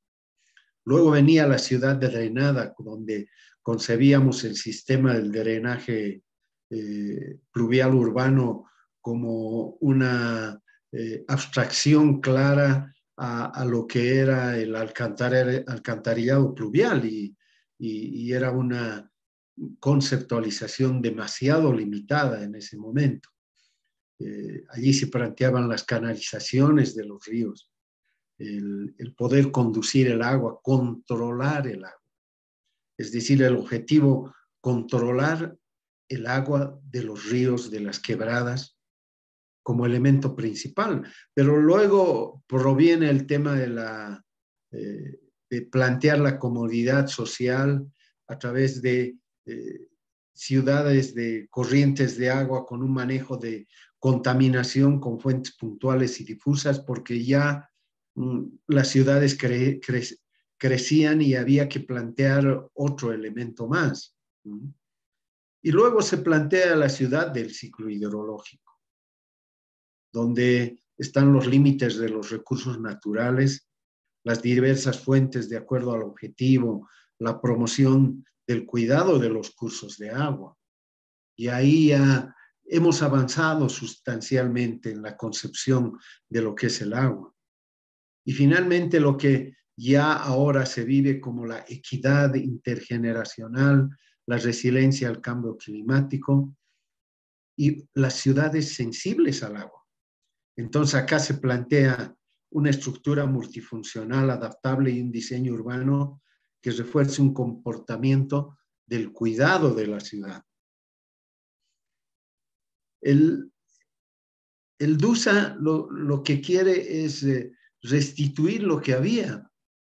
Evidentemente eso es un sueño a veces cuando vemos una ciudad urbana en constante crecimiento y creemos de que nuestras cuencas eran como hace dos mil años o hace mil años o hace 500 años cuando, cuando nuestros cursos de agua transcurrían o se movían de manera, eh, diremos, eh, compatibilizada con su medio, con sus, con sus ciudadanos, con las personas. Eh, nuestra cuenca, en la ciudad de La Paz, de la cuenca del río Chuquiapu, seguramente antes de que lleguen los europeos, eh, mostraban una ciudad eh, donde los procesos de disturbación del medio natural, del suelo, etcétera, eh, de la propia vegetación eran mínimos, ¿no? Pero el avance urbano obligó a que todos nosotros pensemos de otra manera y diremos, eh, ya lo arruinamos, como diría alguien utilizando una, una frase de lo más común, ya lo arruinamos. Nuestras ciudades han avanzado tanto en la densidad, las ciudades han crecido tanto que eh, qué difícil es pensar en volver hacia atrás, en restituir sus condiciones iniciales, o por lo menos mitigar eso. Ese es el objetivo de los SUD. Ese es el objetivo del desarrollo urbano sensible al agua. Em, las propuestas que hacen colegas como de la Universidad de Coruña, como Jerónimo Puertas, Joaquín Suárez y José Anta, que han trabajado con, eh, con el tema DUSA durante muchas décadas y que tuvieron la posibilidad de visitarnos aquí en Bolivia para poder eh, conversar sobre eh, qué podríamos hacer, cómo lo podríamos plantear, cómo podríamos generar una semilla en, nuestras ciudades, en nuestras instituciones municipales, para que algún momento demos un paso hacia adelante. Y los fines fundamentales ya se los planteaban, como minimizar los impactos sobre el ciclo natural del agua, promover una aproximación del desarrollo urbano que se adapte a las características naturales anteriores que proteja los ecosistemas naturales, que optimice el uso del agua como recurso, que sea una gestión inteligente de todos los flujos de agua. Se pretende integrar soluciones en la planificación y en el diseño del desarrollo urbano. Entonces, el objetivo de los SUT es restaurar en la urbe el ciclo natural del agua y mantener la hidrología local, minimizando los impactos del desarrollo urbanístico en cuanto a la cantidad y la calidad de la escorrentía, además de maximizar la integración paisajista y el valor social y ambiental. Entonces, todos los hidrólogos que eh, gradualmente hemos visto deteriorar eh, nuestros cursos de agua, eh, nuestra, nuestro sistema hídrico en nuestras ciudades, pues nos sentimos ante un gran desafío de poder cumplir con este objetivo que nos plantean los SUTs. Las tipologías de SUTs que lo plantea Perales eh, como medidas no estructurales y estructurales son varias, pero hemos querido eh, básicamente colocar dos aspectos desde el punto de vista de las medidas no estructurales y estructurales. La tipología en términos de las medidas no estructurales tienen que ver con la educación y programas de educación ciudadana. Acá se circunscriben el tema de sensibilización, de concientización ciudadana, etcétera, porque la, la, forma de llegar a ellos a través de la educación y los programas de educación ciudadana. La normativa municipal, que es otro aspecto que involucra a todos nuestros municipios en relación al tema de los SUDs. Y los estructurales, un conjunto, un menú de elementos constructivos que modifican las condiciones de escorrentía del agua y definen positivamente nuestro objetivo de recuperar las condiciones originales de escorrentía. Estas medidas estructurales que lo han visto ayer en el en la presentación eh, de varias propuestas, nos muestran ese, ese carácter de, una gran, eh, un gran menú de oportunidades para entrar dentro de los SUDs. ¿sí? Em, sistemas que pueden ser utilizados eh, en, varios, varias ciudades o que ya son, ya son utilizadas, implementadas en varias ciudades pero que para nosotros eh, resulta ser muy limitativo. Eh, hemos hecho los esfuerzos que nos mostró Carla en, el río Rocha, pero todavía se nos plantea un conjunto de acciones que quisiéramos poder ir avanzando gradualmente. Aunque en algunos casos hay algunas experiencias claras en, en algunos centros urbanos, como los depósitos de detención o los sistemas de cosecha de agua, tal como lo conocemos nosotros en Bolivia, o los huertos familiares, que también los, los vemos implementados en, en varias ciudades, como un medio para aprovechar el escorrentía superficial.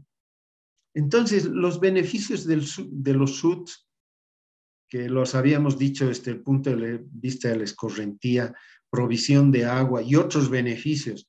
Ahí lo he colocado el tema de la contaminación, que es muy importante entre los otros beneficios, y el tema de la restitución de eh, eh, las características ambientales eh, de los medios naturales.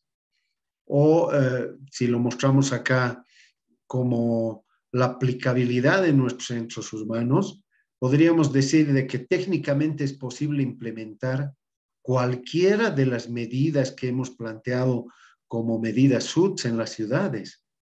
Uno puede animarse a proponer techos verdes, zanjas de infiltración, etcétera, eh, de manera intensiva, ¿no? Porque uno puede hacer, evidentemente, algunas acciones como proyectos piloto, eh, que es algo donde es encomiable porque ya se está comenzando con eso, pero tratar de hacer de manera eh, ya pensar de que la cobertura puede ser mucho mayor a nivel de, una, de un centro urbano, nos obliga a tener, a asumir algunas consideraciones condiciones geomorfológicas, que eh, las ciudades varían en Bolivia eh, en términos de estas eh, condiciones geomorfológicas, muy distintas en el altiplano, en los valles y en la llanura.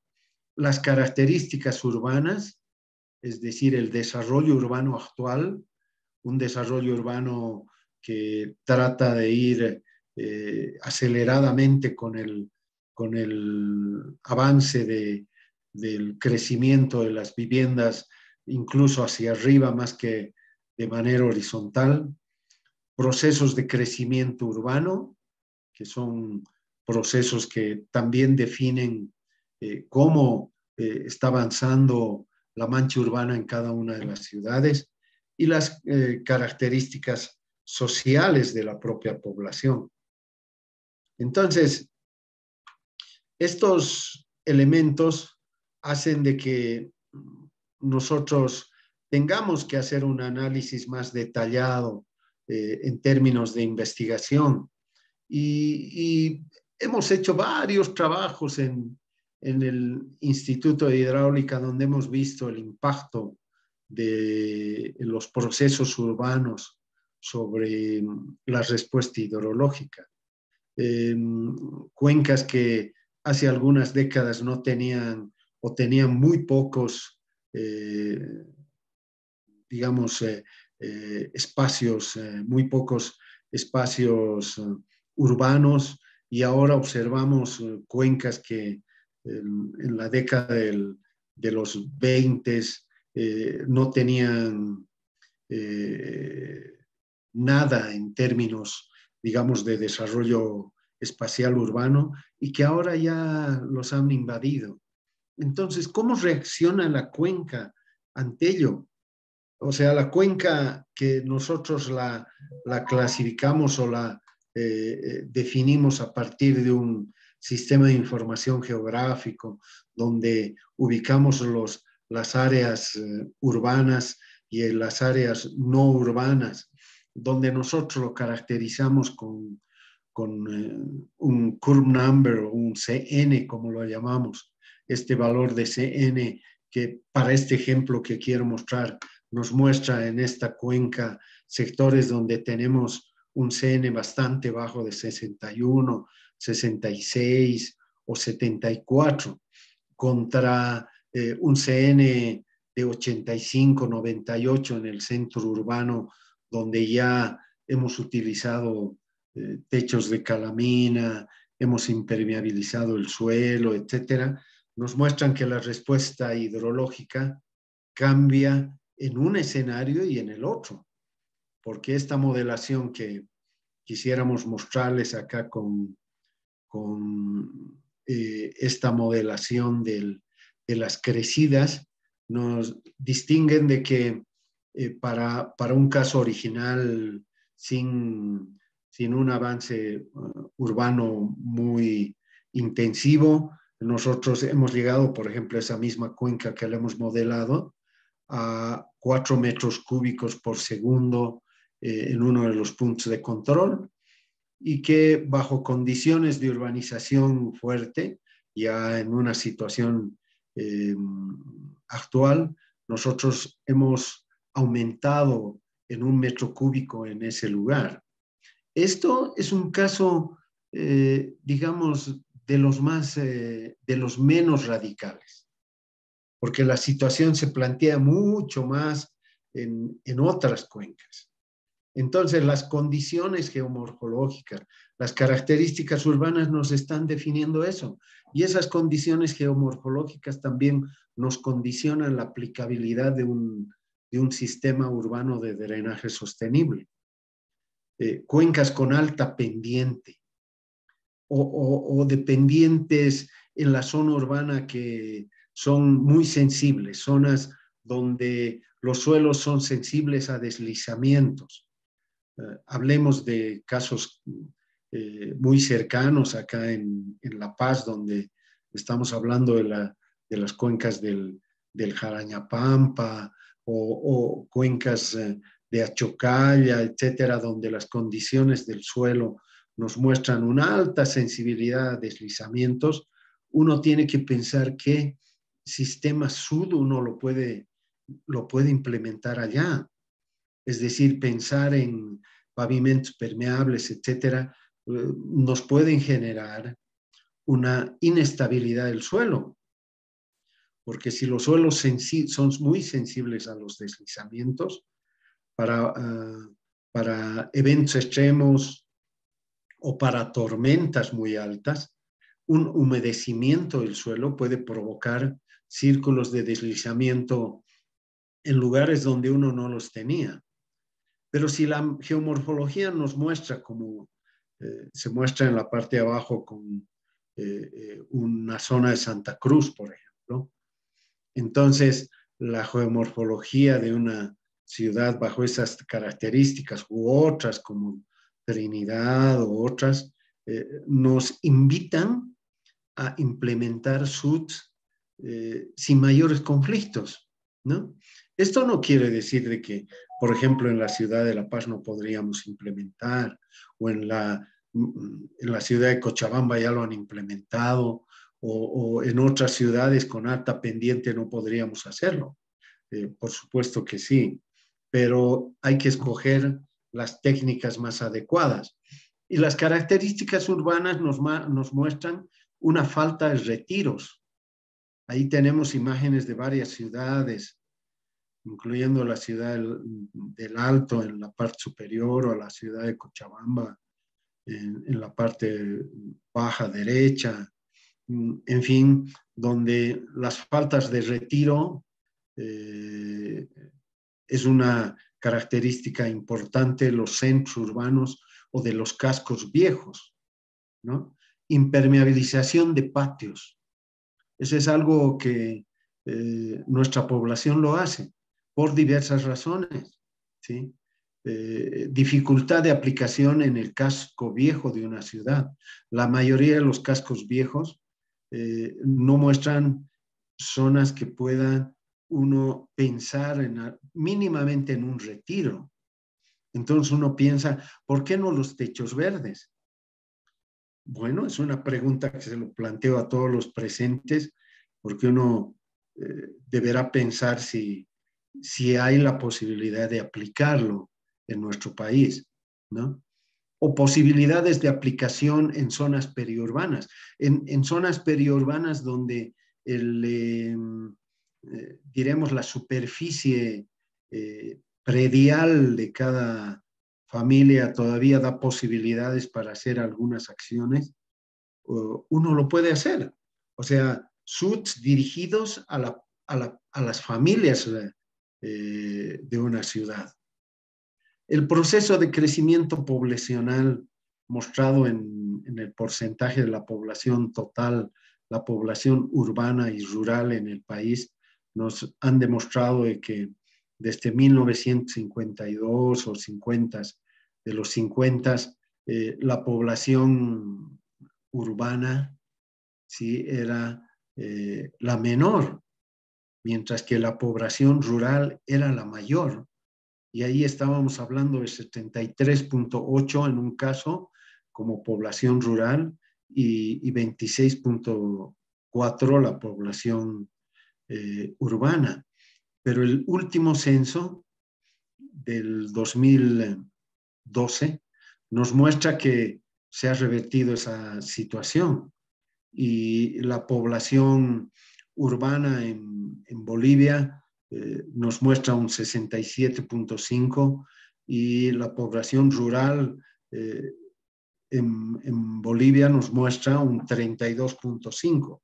Este análisis se hizo para cada una de las ciudades y se observa claramente ¿sí? de que hay ciudades, por ejemplo, el caso de La Paz, Cochabamba y Santa Cruz, donde la la población urbana es mayor a la población rural. Entonces, esto significa que los problemas de las ciudades se van a ir eh, radicalizando y en general lo que vamos a originar es una impermeabilización eh, intensa a lo largo de los siguientes años de todas las ciudades. Y acá estamos hablando solo de las ciudades capital, las ciudades intermedias eh, van por el mismo destino, ¿no? Y las particularidades del crecimiento urbano, ¿no? En, eh, una ciudad como La Paz a la izquierda, con edificios, una cantidad apreciable de edificios y una pendiente de la cuenca que nos motiva a, implementar SUTS con, con muchos reparos y todavía con eh, con mucho cuidado. O ciudades como Santa Cruz a la derecha, que si bien tienen mayor cantidad de, vegetación, pero los procesos de impermeabilización son casi los mismos. Eh, o ciudades como la que tenemos abajo, la ciudad del Alto, donde igual los procesos de impermeabilización son notorios dentro de los distritos centrales, como el distrito 3, el el 4, el 5, el 6, em, donde eh, solamente los distritos periféricos como el distrito 8, el 14 y el 7 nos muestran un avance urbano muy reducido por el momento. Entonces, eh, también tiene que ver con el estado de los servicios básicos, porque eh, una de las medidas SUTS es la captación de aguas de lluvia. Y eso es algo que quisiéramos hacerlo todos, ¿no? Deberíamos hacerlo todos. La captación de aguas de lluvia, el aprovechamiento de las aguas de lluvia, que ya se lo hace en el país, pero que quisiéramos que esto fuera una técnica de todas las familias, o sea, que, que sea prácticamente casi obligatorio, eh, algo que eh, es difícil de pensarlo. O el poder implementar las famosas los famosos tanques de tormenta que tanto nos hablaban nuestros colegas eh, españoles, que se los implementen en toda Europa, por supuesto, pero que ellos nos mostraban las características de sus tanques de tormenta, como esta fotografía de un tanque de tormenta de Barcelona, donde estos tanques de tormenta tienen la posibilidad de retener el agua durante las crecidas y poder ser aprovechadas posteriormente. Claro que sí, evitando, si es que el agua tiene procesos de contaminación, el poder regular el ingreso de las grandes, eh, eh, de los primeros eventos porque los primeros eventos tienen un nivel de contaminación muy alto. Eh, hemos estado uh, buscando algunas experiencias en Bolivia eh, y ahí acá se plantea, por ejemplo, en el plan maestro de drenaje pluvial del Alto, ya se planteó una ficha técnica relacionada ¿sí? con el manejo eh, pluvial domiciliario y la capacidad de fomento a la conexión pluvial, por un lado, y a la derecha una otra ficha eh, de las cuales eh, muy cercanas a un ITCP en la actualidad, donde se plantea una normativa para, la, para incentivar la implementación de aljibes o de estos tanques de tormenta.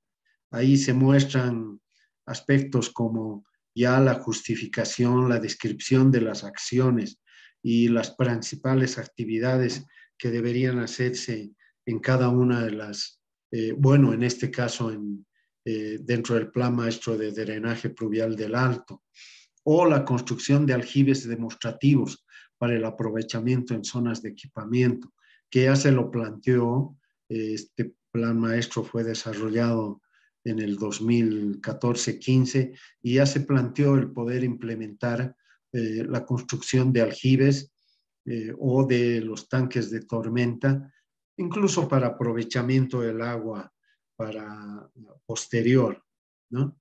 O la preparación. Sí. Tenemos ya que ir cerrando, por favor, la presentación. Claro, claro que sí. O la implementación de huertos familiares urbanos que se lo han hecho en varias eh, ciudades. Nuestro reglamento en la actualidad hablaba ya de, Reglamento Nacional de Instalaciones Sanitarias, de la naturación de techos, infiltración de superficies planas. Eh, nuestro plan estratégico de drenaje pluvial, estrategia de drenaje pluvial con quien, en conjunto con la ingeniera Argandoña, hemos tenido la posibilidad de desarrollar este plan que lo tiene el Estado plurinacional, donde se muestran algunas acciones concretas y donde ya se hablaba de los talleres a nivel eh, municipal para implementar los SUTs eh, a nivel de todo el país. Eh, los desafíos están desarrollados, o sea, se muestran dentro del ámbito institucional, desde el punto de vista del control del uso del agua. Son elementos que están, tienen un traslape entre cada uno de ellos son integrales, ¿sí?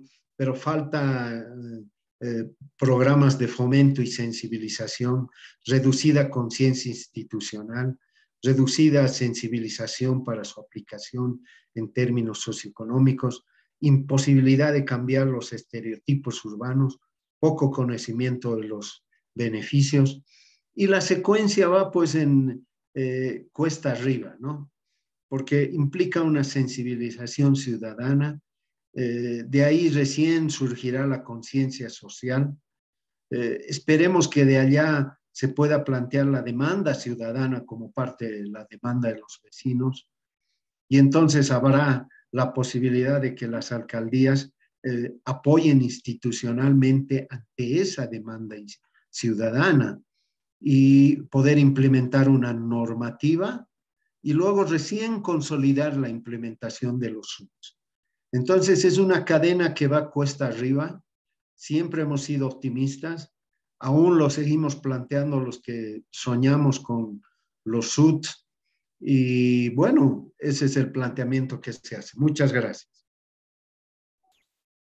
Muchas gracias, doctor. Tenemos una pregunta que creo que le he ido respondiendo justamente después de que se la ha hecho, pero de todos modos la, la leemos. Dice, sabiendo que la ciudad de La Paz tiene condiciones topográficas, geomorfológicas, geológicas, hidrológicas e hidrogeológicas especiales con zonas de riesgo alto y un crecimiento urbano descontrolado y no planificado, ¿Es posible implementar SUTS? Y si es así, ¿cuál de las tipologías sería la más adecuada para La Paz? Muy bien, voy a partir de un ejercicio que hemos hecho con los colegas de Coruña, de la Universidad de Coruña, cuando han venido aquí a La Paz y nos mostraron su software.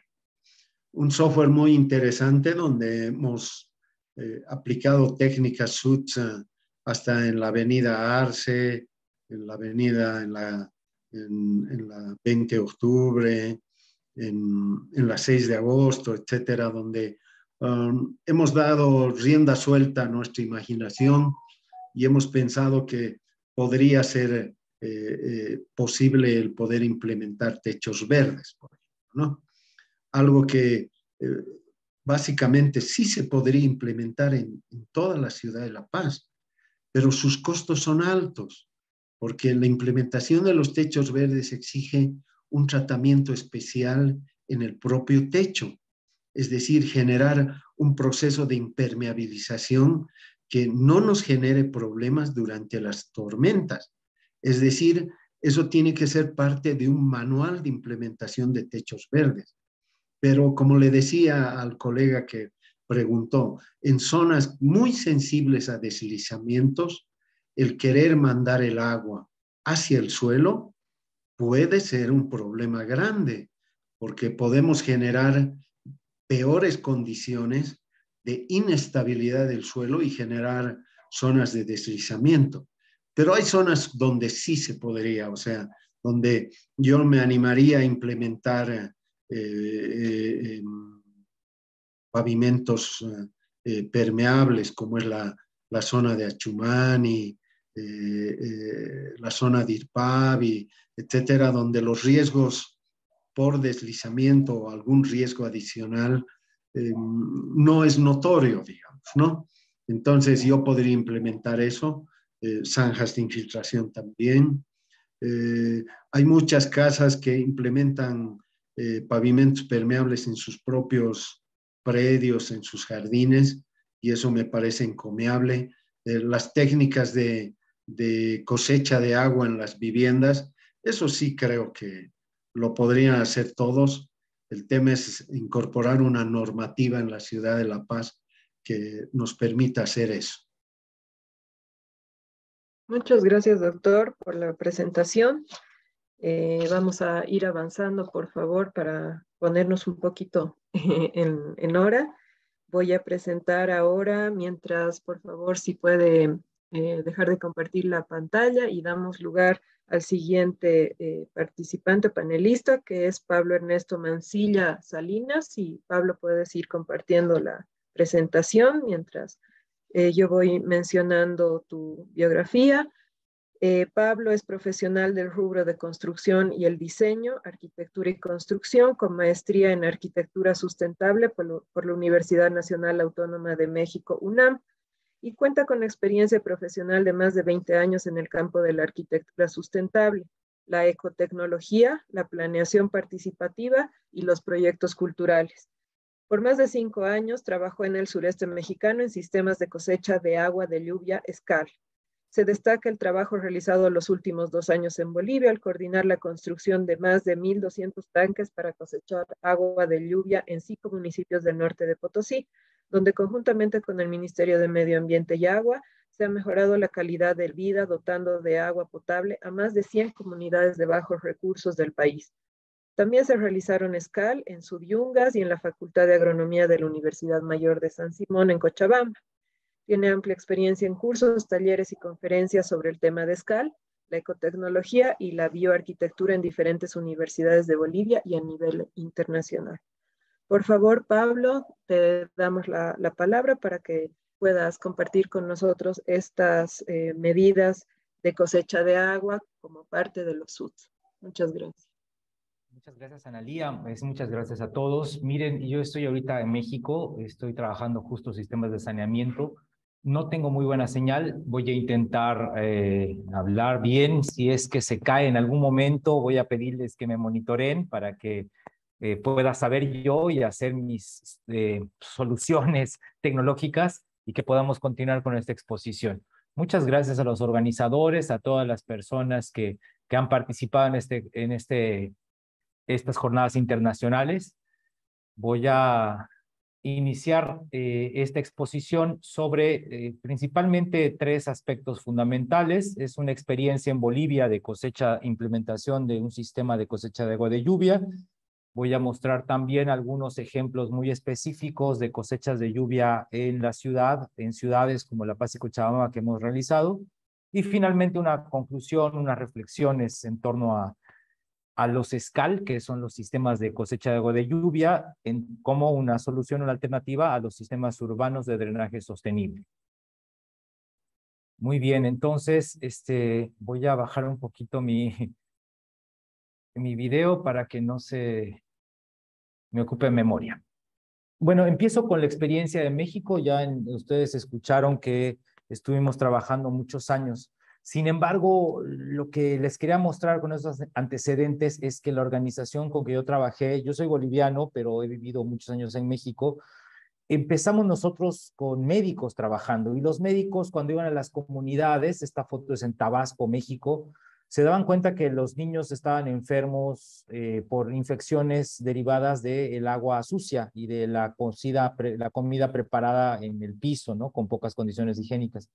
Entonces son los médicos los que después de muchos fracasos de curar y después volver y darse cuenta que pues volvían a enfermarse, decidieron emprender este trabajo con las cisternas, tanques de ferrocemento y de hormigón armado, y poco a poco, eh, conforme van, vean esta línea de tiempo, fuimos avanzando y desarrollando una tecnología apropiada para comunidades rurales en México.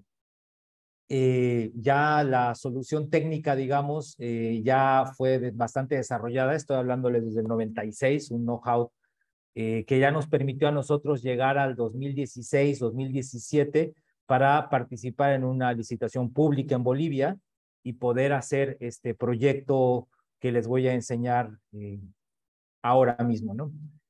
Eh, nuestro trabajo en México abarcó cisternas, efectivamente, fogones eh, para ahorradores de leña, justo para, para tener alimentos sanos, este, que las que cocinan no se enfermen y también que se haga con condiciones higiénicas. Y finalmente viviendas, ¿no? que estuvimos desarrollando en la República Mexicana por muchos años y que después fuimos a desarrollar a Bolivia. Yo particularmente trabajo allá con una empresa llamada Ecofractal.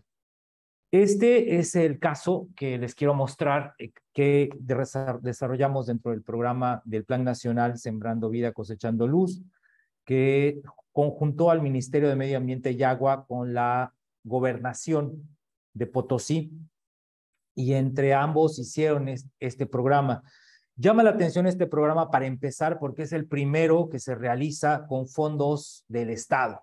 Siempre habíamos trabajado esto de la cosecha de lluvia con cooperación internacional. Este, este programa marcó una etapa diferente porque gracias a los impuestos al hidrocarburo y una serie de recursos propios del país se gestionaron estos fondos para poder hacer estos sistemas de cosecha de agua de lluvia en cinco comunidades de mayor índice de pobreza en el país que están en el norte Potosí. Eh, ustedes conocen, la gente del exterior, eh, ubicarlos un poco donde está Potosí al sur. Este es el mapa de Potosí y al norte de Potosí van a empezar a ver círculos rojos donde trabajamos nosotros, eh, que fue justamente en Chayanta, en Tacobamba, en Ocurí, en Ravelo, en Torotoro, zonas de norte Potosí que presentan no solo condiciones de pobreza extrema, sino también pues falta de agua, ¿no? Se, sabe desde el 83 más o menos, cuando fue esta gran sequía que duró dos años, eh, tuvieron tres años, perdón, estuvieron mil días sin agua en esa zona y ya la primera manifestación del fenómeno del niño, del calentamiento global, que hizo que esta gente migrara a las ciudades y todavía los tenemos nosotros, a los de Norte Potosí en las ciudades, en tiempos de secas. Esto es un proceso histórico que hay que considerar porque va en incremento, ¿no?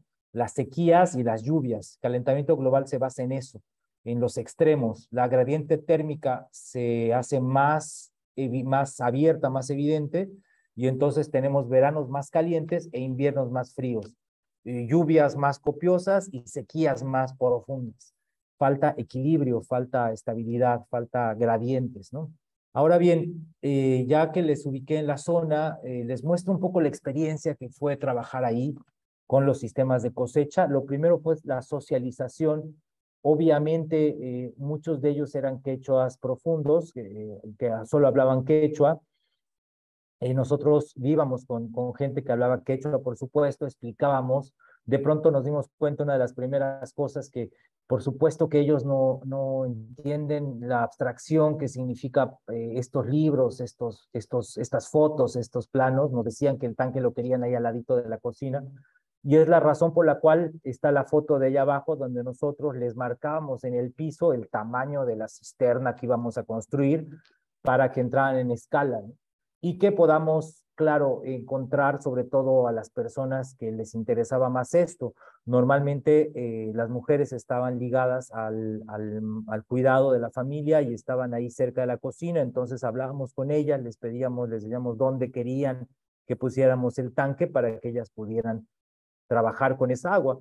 Eh, bueno, esto permea a, a muchas a muchas historias, pero un poco esta fue la primera parte que fue la implementación de los tanques. ¿Cuáles son nuestros tanques? Miren, esta foto es en esta comunidad, ya ven, eh, este es ya ven lo seco que es, eh, este es nuestro sistema, es un encofrado total, el tanque de 12 mil litros tiene dos metros de altura, tres metros de diámetro, a veces eran del tamaño de, de algunas de las casas, por supuesto que eran casas donde vivían, ¿no? a veces eran baños o a veces eran lugares para guardado, pero bueno, la escala era esta, los tanques podían ser enterrados, pero eh, también pueden ser superficiales.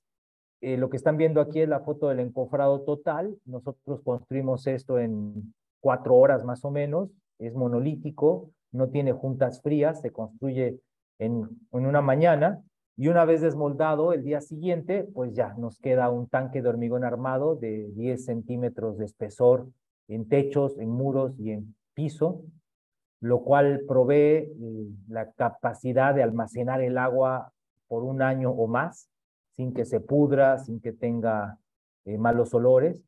Y esta condición era muy importante, sobre todo la durabilidad, a diferencia de otros tipos de sistemas constructivos. El hormigón armado nos permitía a nosotros garantizar que estos tanques van a vivir 50, 70 años en condiciones adecuadas para poder almacenar agua de lluvia principalmente.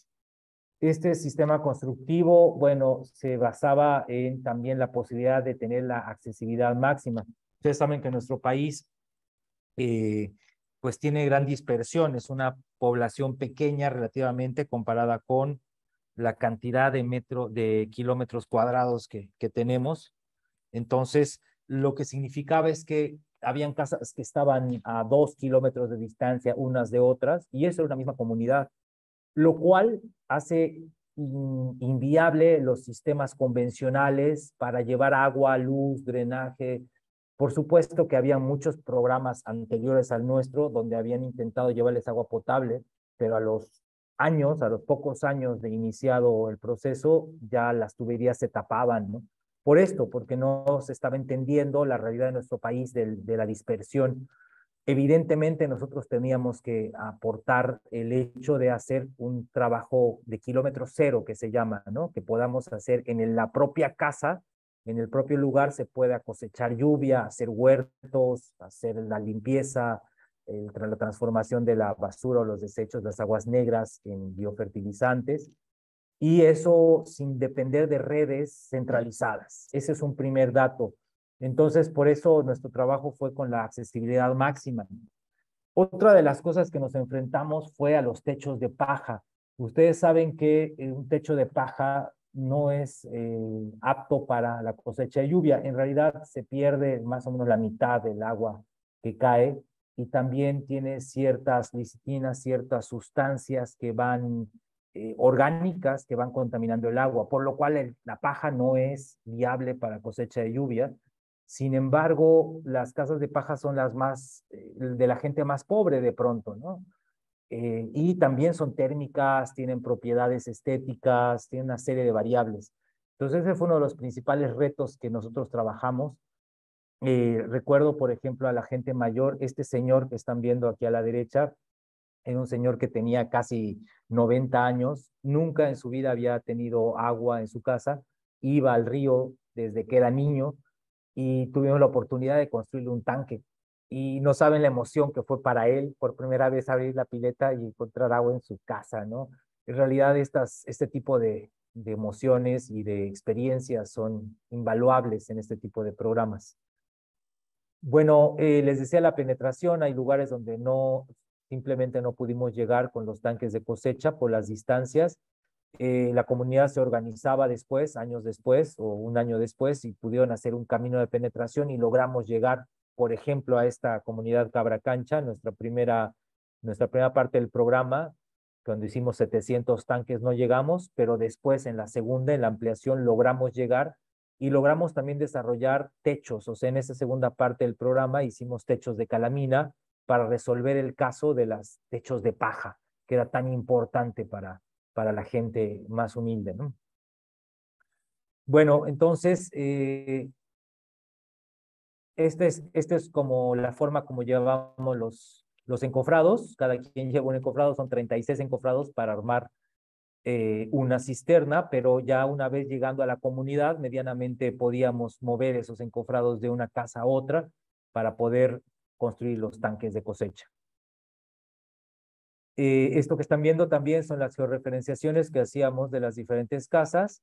Este programa está hecho con la empresa Don Goyo, Don Goyo Sanud, que es de México, ellos eh, llegaron a organizar, ganaron la ganamos la licitación, yo trabajo para ellos, trabajé para ellos, y gracias a, a Don Goyo, a Andrés Randazzo, a Liliana, eh, es que pudimos, Liliana Valencia, perdón, pudimos lograr hacer esta cantidad, estamos hablando de 1.200 tanques para beneficiar a más de 5.000 familias.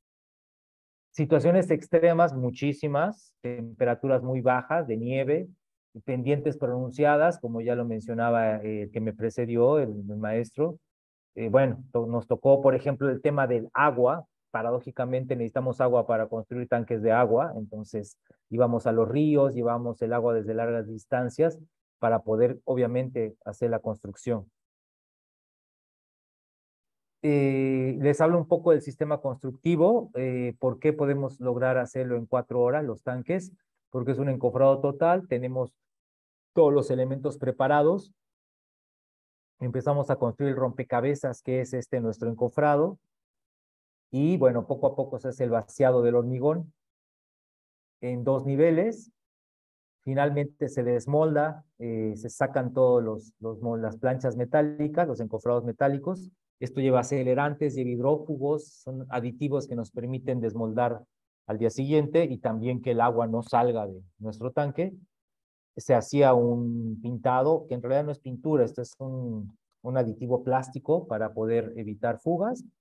Y finalmente se pintaba por afuera también un tanque por vivienda, un tanque por, por o varios tanques por escuela, se hicieron diferentes, diferentes locales. Pero ahí, por ejemplo, vemos un prototipo de, de parte del trabajo que se hizo allá.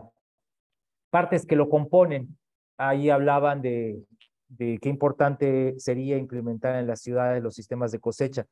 Eh, con Don Goyo Sanud se trabajó una metodología muy interesante, un know-how de años, el cual permitió que se pudiera desarrollar una tecnología de filtros, trampas y diferentes areneros, sistemas de filtración del agua de lluvia, pero muy ingeniosos que no dependieran de la alta tecnología, que no fueran piezas que nos tuvieran que costar muchísimo y que después se rompieran y que ya no se pudieran recuperar.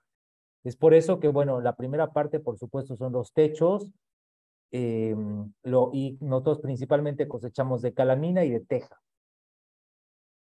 Después las canaletas, los sistemas de canaletas también tienen un, una apropiación, una solución muy sencilla con, con PVC, pero que va mordiendo la canaleta y esto de entrada permite que ya se evite la entrada de hojas o de basuras eh, innecesarias, grandes, ¿no? Que las canaletas convencionales de las casas que están en, en U no lo tienen y se llenan de hojas y se tapan y es un problema limpiar. Bueno, las canaletas de entrada ya fueron una solución para evitar eso. Después tenemos las trampas de primeras lluvias, que también son sistemas bastante ingeniosos. Es una válvula muy sencilla hecha con la misma tubo PVC que permite desechar o almacenar por otro lado las primeras lluvias, las lluvias que lavan el techo, las lluvias que después de, de una época de estiaje no son aprovechables, entonces tienen que ser desviadas para no contaminar el sistema. Y esa trampa de primeras lluvias, pues también fue desarrollada de una forma ingeniosa. También, bueno, tenemos trampas de arena, por ejemplo, ¿no? Las trampas de arena eh, son para los sólidos. Esto es importante porque ya una vez que pasó en los tubos, pues hay arenas, hay popó de, de, pájaros, hay diferentes sustancias que, no, que, que siguen sucediéndose a lo largo de una temporada de lluvias, pues, o sea, la primera lluvia las desviamos, pero sigue contaminándose el techo. Bueno, para eso son las trampas de arena, que en el lado derecho se ve básicamente cómo es un proceso de decantación. Lo que hacemos con los sólidos es que los, los, los metemos en remolinos entre las piedras para que puedan decantarse en la parte inferior, suba el nivel del agua y después entre el agua por esa malla plástica. Todo lo que usamos en campo son plásticos o inoxidables. No se puede contaminar el agua en ninguno de esos puntos, así que todo, por supuesto, que tiene que ser resuelto de una manera económica, les repito, asequible, pero también eh, técnicamente duradero y sobre todo que no contamine el agua. Un quinto elemento es el filtro de carbono activado. Este filtro iba en la parte previa a la salida de la pileta, de la llave de salida del agua. Y este filtro pues tenía diferentes eh, materiales filtrantes, mm, sencillos pero importantes. Tenía un grava poco grande, tenía otra piedra que era más porosa, más volcánica, un tesontle, una piedra como piedra pómez, digamos, y finalmente el carbón activado, que ustedes saben que tiene la propiedad de quitar el olor, el color y el sabor al agua. Esto se manejó con tiempos de retención del agua, por supuesto, eh, con las cantidades de carbón adecuadas y también con el mantenimiento necesario para que pueda durar unos 10 años un filtro de estos y después poder ser renovado de alguna manera eh, con, con elementos sencillos, les repito, ¿no? Siempre pensando en que esto es en el campo y que tiene que que durar y que tiene que ser eh, de baja velocidad tecnológica. Eso es muy importante, ¿no? Les estoy mostrando cosas muy sencillas, muy simples.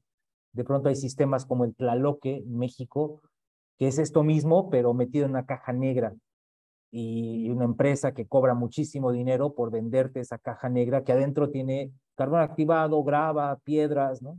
Pero, pero que ahora, con tiempos de cambio climático, se está presentando mucho eso, ¿no? El, aprovecharse de estas condiciones y vendernos tecnología, que, paguemos patentes, ¿no? Necesitamos bajar la velocidad de la tecnología y hacer cosas asequibles, de fácil manejo y de apropiación tecnológica.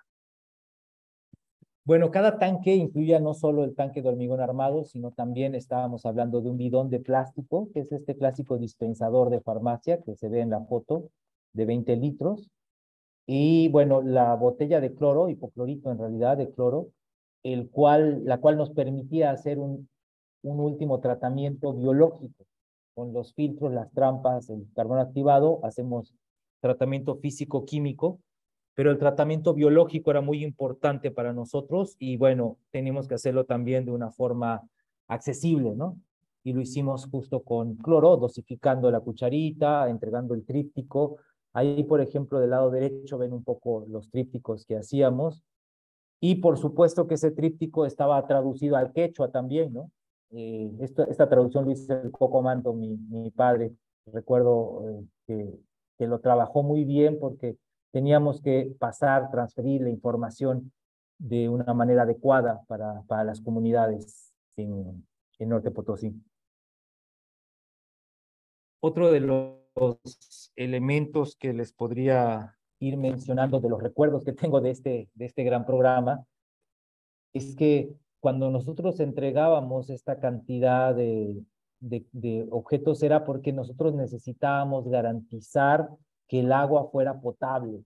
Ustedes saben que el enfoque original que tuvo Sanud eh, cuando empezó con estos programas es para los niños de menores de 5 años porque son ellos los principales afectados con la contaminación del agua.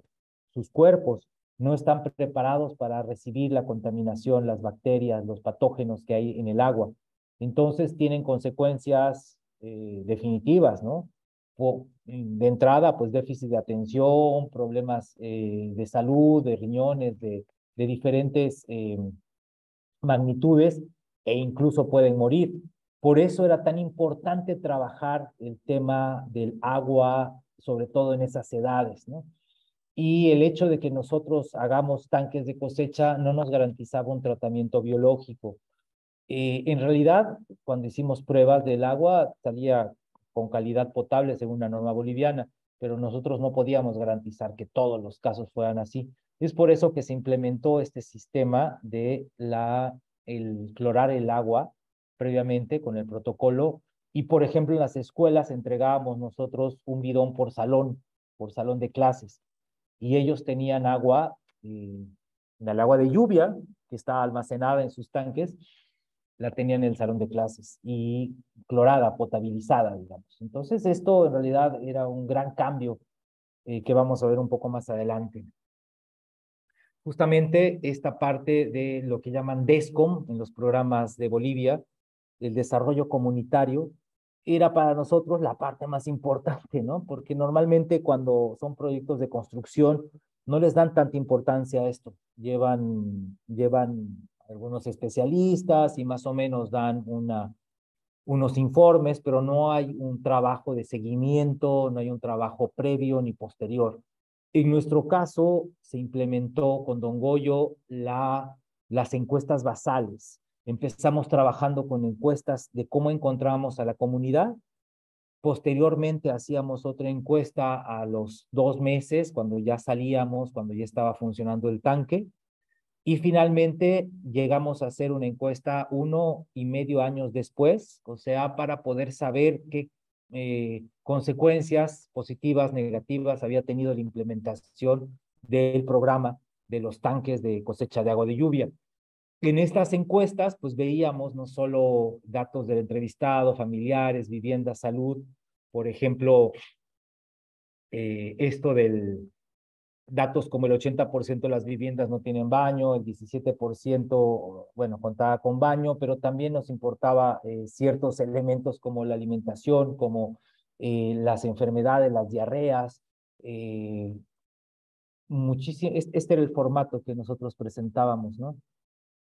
Muchísimos elementos como la presión arterial. Hicimos un gran trabajo ahí con nuestros especialistas, con, con la querida Felicia estuvo trabajando ahí en Sucre y un equipo importante de, de gentes preparadas para sacar este tipo de datos, ¿no? Glucosa, era para nosotros muy importante obesidad, ver porque en eso, de eso dependía eh, que el impacto que podría tener el agua, en este caso el, el agua de lluvia, en esas situaciones. Eh, como resultado, les puedo mencionar, por ejemplo, que logramos reducir la cantidad de sucesos de diarreas en los menores en un 80% gracias a el agua de lluvia, el agua limpia, el agua que estaban tomando. Por primera vez tenían acceso a un agua limpia. Otros indicadores que recuerdo de este proceso es que logramos también reducir la migración nosotros cuando construíamos ahí encontrábamos viviendas que prácticamente pueblos desiertos, que se quedaba un viejito y un niño, unos niños ahí, y los demás iban a la ciudad a pedir en tiempo de estiaje, ¿no? A pedir recursos, a trabajar en la minería, en el campo o a pedir limosna y después volvían en tiempo de lluvias. El hecho de poder tener agua de lluvia en tiempo de estiaje a razón de 60 litros por día, más o menos, que es el cálculo de los 12 mil litros en siete meses, es el costo, el gasto que se va haciendo por día, 60 litros, 50, eh, 60 litros, era un cambio total en sus vidas porque les permitía la reproducción de la vida, el famoso vivir bien, que está basado en la reproducción de la vida, estaba entendido en ese sentido porque la gente podía quedarse por primera vez y no tener que salir en tiempo de estiaje.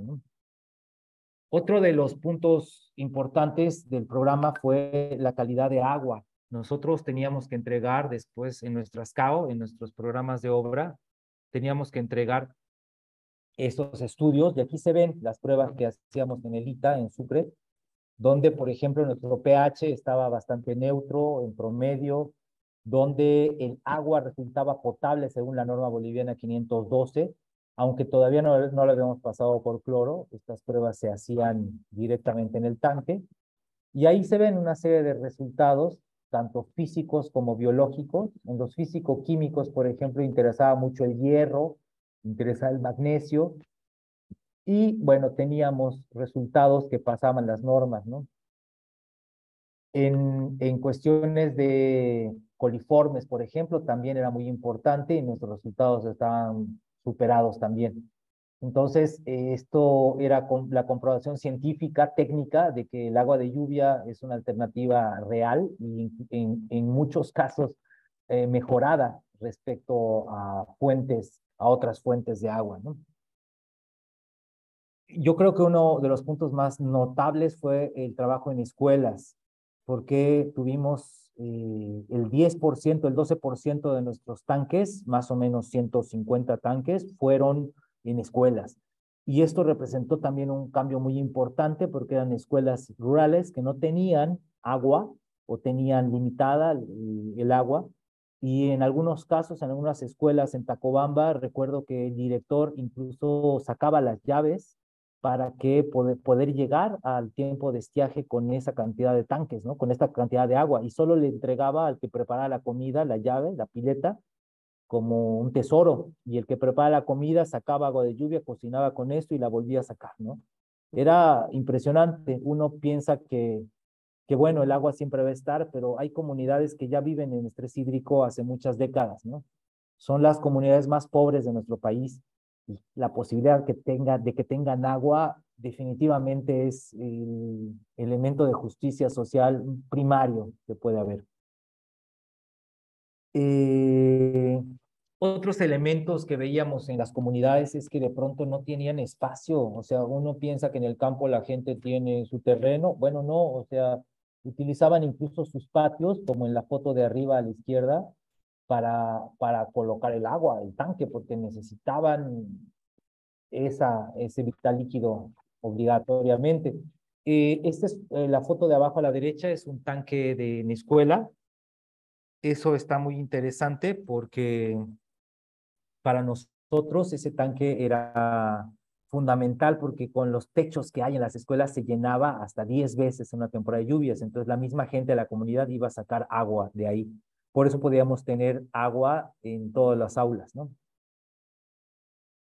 Bueno, eh, como conclusión, para cerrar ya este capítulo, les voy a decir que todavía tenemos eh, relación con estas comunidades. Y yo estuve yendo a visitarlas después de tres años y encontré tanques con agua que los aprecian muchísimo y los tienen este, en, alta estima. Los van a encontrar ahí en estas comunidades, Tocurí, Ravelo, Tacobamba, Torotoro y Chayanta. Bueno, pasemos ya para cerrar eh, a los SCAL, sistemas de cosecha de agua de lluvia, como sistema urbano de drenaje sostenible. Por supuesto que es viable en las ciudades. Eh, esta política de kilómetro cero es en realidad el futuro que nos viene en un, en un panorama de cambio climático porque definitivamente no vamos a tener la gasolina ni siquiera como para poder hacer grandes traslados. Estamos hablando de un cambio de mentalidad, de descentralizar los servicios, tanto el hacerse de agua como el limpiar el desecho, como el manejar la basura, tenemos que descentralizarlos a nivel barrial, a nivel incluso familiar. Estos tanques están en ciudad, son los mismos, nuestros mismos tanques, ya están enterrados, ya son con una gran cantidad de, de, agua que se almacena ahí. Yo hice un proyecto para el Estadio Félix Capriles cuando lo remodelaron hace unos años. Finalmente no pudimos construirlo, pero vi la viabilidad que tenía un estadio como ese para tener cosecha de lluvia. Teníamos posibilidades de haber hecho eso. Y bueno, eh, aquí hay tanques urbanos que hemos construido también. Ahí se ven. Eh, le repito, esto puede estar enterrado, puede ser exterior. Mucha gente lo quiere exterior, y en realidad a mí me parece muy importante eh, que ya el agua deje de ser infraestructura y se convierta en estructura, que ya la podemos visualizar, que ya sea apropiada, porque es un bien muy importante. Nosotros tenemos un territorio donde más del 60% del país en Bolivia llueve 830 milímetros por año. Eso es muchísima agua. Incluso hay un punto, ese punto azul que está en Cochabamba por el Chapare, que llega a llover, llega a llover 4.600 milímetros por año. Significa que cada metro cuadrado que ustedes pongan en un año acumula 4.600 litros o cuatro, o cuatro y medio cubos de agua por cada metro cuadrado de techo. ¿Saben la cantidad de agua que es esa? Bueno, eh, algunos ejemplos de, de, nuestro trabajo ya como ecofractal. Nosotros hemos hecho sistemas urbanos de cosecha vía talleres.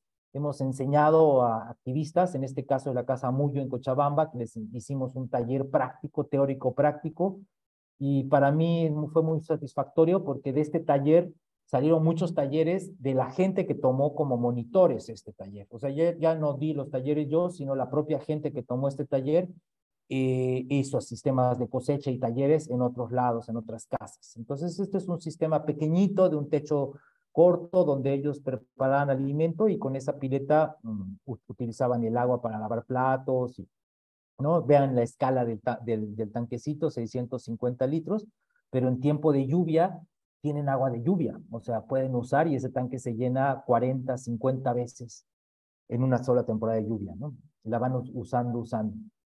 Otro de los ejemplos es en la Facultad de Arquitectura, de hecho por eso me pusieron maestro, yo les dije a los organizadores que era maestro invitado, pero bueno, aquí sí di la clase en arquitectura de, de arquitectura y medio ambiente, para mí es fundamental eh, meternos a las universidades para enseñar sistemas de ecotecnias, las ecotecnologías, que son estos sistemas pasivos de utilización de las energías pasivas del ambiente, por ejemplo, la lluvia, el viento, el sol, la marea, y que se pueden transformar con baja tecnología, con ingenio, en satisfactores de la vida cotidiana energía en luz eléctrica, en agua potable, en tierra fértil. Entonces, eh, este curso que yo di ahí era de bioarquitectura y de ecotecnología y como parte del curso hicimos una parte, una semana práctica donde hicimos muchísimas ecotecnias y ahí ven un poco los sistemas, ¿no? O sea, vean cómo lo que veían en los tanques de hormigón armado fue transformado en un tacho de, pintura con piedras y con lo que tenemos a mano. Y el lugar de copias de la Facultad de Arquitectura fue nuestro techo captador. Y actualmente todavía está, esto lo hicimos ya hace varios años y todavía está el, el sistema. Poca gente sabe que hay agua de lluvia, yo siempre que voy a la facultad abro esa pileta y sale agua y sigue saliendo agua limpia, ¿no? Entonces, si ven, son todas cosas recicladas, son cosas de, como para que los chicos entiendan de alguna manera eh, y puedan incorporar el conocimiento y lo apliquen en sus casas, como de hecho lo sé que lo aplicaron. Este proyecto ya más reciente del año pasado en Coroico hicimos cuatro tanques de cosecha. Coroico tiene una lluvia aproximada de 1.200 milímetros por año. Uno pensaría que tienen agua suficiente, pero no. En realidad el río está contaminado sobre todo por el trabajo con el oro. Los que están sacando oro están contaminando el río para, con sustancias químicas y eso es un daño ecológico tremendo, ¿no? No pagan impuestos y tampoco, tampoco, tampoco limpian el río, es más, lo contaminan. En Senda Verde el trabajo era como para tener agua segura. De hecho, eh, los tanques de cosecha de agua de lluvia, su principal misión es esa, que uno tenga agua segura y limpia. ¿Recuerdan la crisis del agua en La Paz hace unos cuatro o cinco años? Zona Sur colapsó, muchos negocios quebraron y eso fue por no tener almacenamiento de agua. Entonces, el agua de lluvia se usa en tiempo de lluvias a razón de todo lo que pueda uno utilizar, ¿no? Estos tanques se llenaban, les repito, unas 15 veces en una temporada de lluvias, 12 mil litros se llenan por la cantidad de lluvia que hay y por supuesto por los techos grandes. Entonces están usando agua de lluvia y en el tiempo de secas dejan esta agua almacenada, esta agua no se pudre porque no entra en contacto con el sol y eso es fundamental, es como un aljibe, es como un chultún, que es la, el sistema de cosecha y lluvia en este lugar donde yo estoy, estoy yo ahora, que es Yucatán, la península de Yucatán. Los chultunes son el sistema de los mayas. Y eh, lo que estamos haciendo con el hormigón es mantener el agua fresca, independientemente del clima, esa agua es fresca, tiene esa condición de oscuridad y entonces se almacena. Y si hay alguna crisis en ese tiempo de estiaje, se usa esa agua. Y si no hay agua, se usa a razón de 60 litros por día y hasta que llegue la siguiente lluvia. Estos tanques están construidos en Senda Verde. y, bueno, sí, en diferentes zonas de, de ese paradisíaco lugar, la reserva de animales.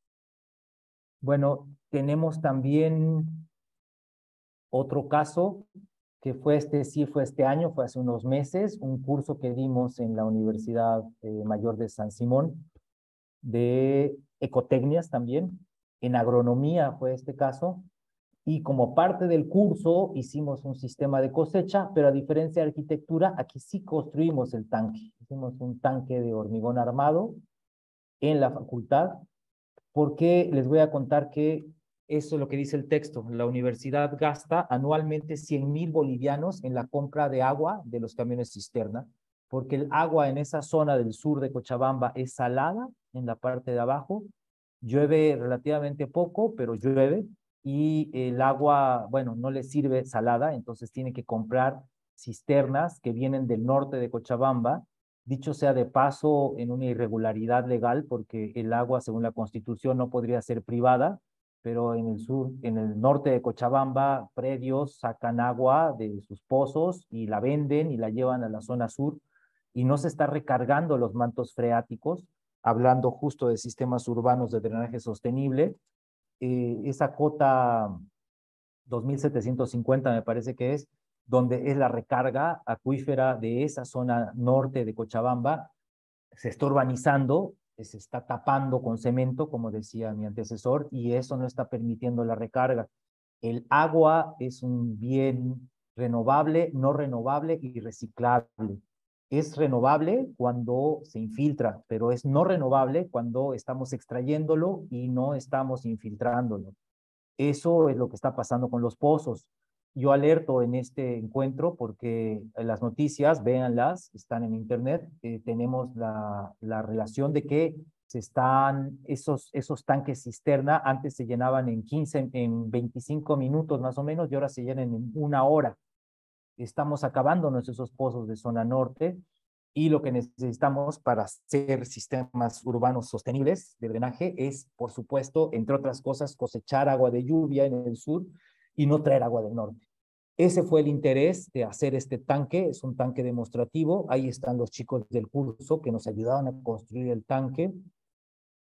Y bueno, es un primer esfuerzo en la facultad como para poder iniciar con este con este trabajo de la cosecha. Necesitaríamos, por supuesto, muchísimos tanques, pero si nosotros hacemos un comparativo entre cuánto cuesta un tanque y cuánto gasta la universidad al año en traer pipas de agua, les aseguro yo que en un par de años, en unos, cuantos años, podríamos eh, equilibrar ese costo, amortizar ese costo y empezar ya a tener un sistema sostenible urbano de reciclamiento de agua.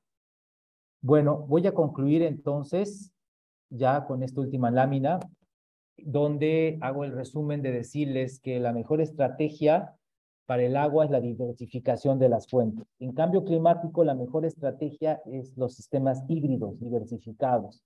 Ya no podemos depender de una luz eléctrica, ya no podemos depender de un tiradero, de, un sistema de drenaje municipal centralizado, ni mucho menos de represas, porque eh, los sistemas tienden a colapsar centralizados y en tiempo de cambio climático va a ser peor. Entonces, la propuesta como conclusión les digo es que hay que diversificar las fuentes y eso significa tener sistemas de cosecha, además de la llave de la red general, tener paneles solares, aerogeneradores, además de la red de electricidad, y procesar nuestra basura, compostear nuestra basura, tener sistemas de saneamiento, que es lo que yo hago aquí en Yucatán ahora, aguas negras transformadas en tierra fértil y estos sistemas híbridos. Y finalmente entonces les digo que el agua de lluvia es el agua más limpia porque proviene de un sistema de condensación del agua, se evapora y después eh, se decanta. Y eso elimina muchísimos de los patógenos que se, que se pueda ver en realidad la contaminación viene cuando ya entra en contacto con el techo, pero si nosotros tenemos un manejo adecuado de esa agua y la agarramos limpia, fresca, la podemos mantener muchos meses, incluso años, almacenada y de magnífica calidad.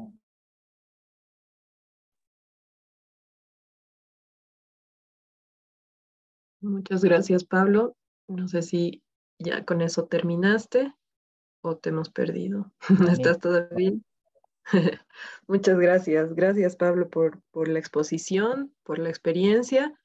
Tenemos tres preguntas, las hago rápidamente y también, por favor, pido por cuestiones de tiempo eh, las respuestas sean concretas. La primera es, ¿cuáles serían los costos monetarios, bolivianos o dólares, para implementar este proyecto en una sola comunidad? Bueno, el sistema de cosecha de lluvia estará a un poco menos de dos mil dólares, más o menos.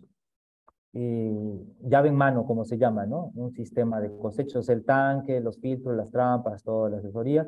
Eh, obviamente en una comunidad, si se hace muchos, pues reduce el costo porque ya eh, parte del trabajo es llevar el, el, encofrado. Si nosotros comparamos este costo con un tanque bicapa, por ejemplo, de cualquier empresa comercial de plástico o tricapa, que son los únicos que competirían, digamos, eh, con este sistema de hormigón armado. Eh, es mucho más barato el hormigón armado que estos tanques tricapa, porque, bueno, además de que son más caros, tienen menor durabilidad que un tanque de hormigón armado. Gracias, Pablo. La otra pregunta es, ¿la captación en los tanques se la realiza mediante rejillas o qué sistema? Mm, perdón, ¿me puedes repetir? No entendí. Dice, ¿la captación en los tanques se la realiza mediante rejillas o qué sistema? Ah, ya. Este, mm, bueno, como vimos, tiene canaletas y entonces las canaletas son las que reciben del techo y después tiene trampa de primeras lluvias, trampa de arenas, filtro de calor activado. Entonces nosotros estamos, antes de meter el agua al tanque, la estamos limpiando para que ya eh, una vez que entra al tanque ya esté medianamente limpia o limpia no medianamente. Muchas gracias. Y la última consulta es si en las comunidades beneficiadas pudieron consolidar un comité de aguas o cada familia es responsable de la operación y mantenimiento del tanque. Mm, me parece una pregunta extraordinaria esa porque nosotros lo que hicimos ahí fue que cambiamos la gobernabilidad del manejo del agua. En sí, lo que sucede es que cuando uno tiene un sistema de cosecha en su casa, es la gobernabilidad es suya, de su familia, digamos, ¿no? De, ellos depende, de cada familia depende el manejo, el uso, el mantenimiento, el buen sistema. Y eso rompe un poco la lógica, efectivamente, porque nosotros lo que estamos haciendo es que eh, estamos evitando que las redes colapsen. Cuando hacemos una red general y algo colapsa desde el principio, se arruina todo. Cuando descentralizamos es mucho más fácil mantener porque cada familia se está encargando de eso, ¿no? La organización de agua de cada comunidad ya viene desde antes y va a seguir seguramente, pero el hecho de tener un tanque por familia nos permite a nosotros tener ese cambio de gobernabilidad, de alguna manera que asuman la responsabilidad. Gracias, Pablo. Hay una última pregunta y tal vez bien cortito. Dice, ¿las temperaturas altas como en el trópico Cochabambino y los yungas no influyen en la propagación de microorganismos? No, lo que sucede es que el agua no entra en contacto con el sol y el agua al estar en un tanque de 10 centímetros de espesor no eh, tiene una inercia térmica importante, entonces no permite que el calor entre eh, tan fácilmente. Le repito, tanto en frío como en calor, el agua tiene la misma temperatura estable. Y eso es una ventaja también con el plástico, porque el plástico no tiene esa inercia, entonces el agua se calienta y se enfría y pierde calidad.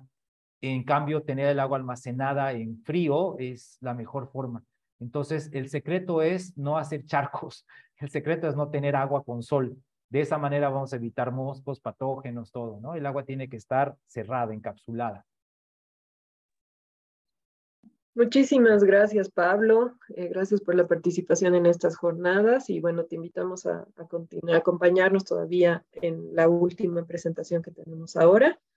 Voy a pasar a presentar a Sandra Galarza, mientras también si es que nos puedes eh, ayudar, Sandra, con la preparación de tu presentación, de la, proyección de tu presentación. Sandra es ingeniera civil, eh, máster en hidrosistemas y PhD en ingeniería en la Pontificia Universidad Javeriana, PUG, en Bogotá, Colombia, profesor asistente de la PUG en Cali y miembro de los grupos de investigación Ciencia e Ingeniería del Agua y el Ambiente y Detección de Contaminantes y Remediación. Sus actividades docentes se centran en el programa de pregrado de Ingeniería Civil y posgrado en Maestría Hábitat.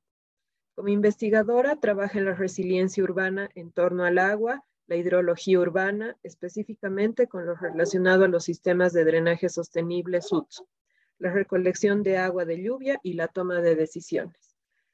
Muchas gracias, Sandra, por tu presencia y te cedo la palabra para iniciar la presentación. Buenas noches, ¿ahí me escuchan bien? Sí, se escucha muy bien. Listo, ¿y están viendo la presentación? ¿Sí? ¿También? Listo. Bueno, eh, buenas noches, muchas gracias por invitarme a este evento. Eh, ha sido muy bonito escuchar pues, las presentaciones del día de ayer y, y las del día de hoy y de verdad, y muy también muy gratificante como ver todo ese trabajo que pues muchas personas han hecho en diferentes lados. Entonces, y gracias por pues, permitirme ser parte de este evento. Bueno, entonces eh, vamos a ver un poquito acá eh, la recopilación que eh, trabajé para este evento sobre los desafíos y retos que hemos podido observar con la implementación de SUTS aquí en Colombia, ¿sí? específicamente pues en dos ciudades la principal que pues es Bogotá y en la, en la ciudad que me encuentro que es Cali, que es conocida pues mundialmente como la capital de la salsa. Bueno, entonces me gustaría empezar por pues el contexto que ya igual ya a esta hora yo creo que ya todos lo tenemos un poco más claro, para qué sirven los SUDs. Y realmente lo que me encanta de, la definición de los SUDs o del diseño urbano orientado al agua es cómo podemos imitar esos principios o esas condiciones iniciales, ¿no? Para disminuir el impacto que hacemos con la urbanización, básicamente. O sea, disminuir impermeabilización. Entonces, dado esto,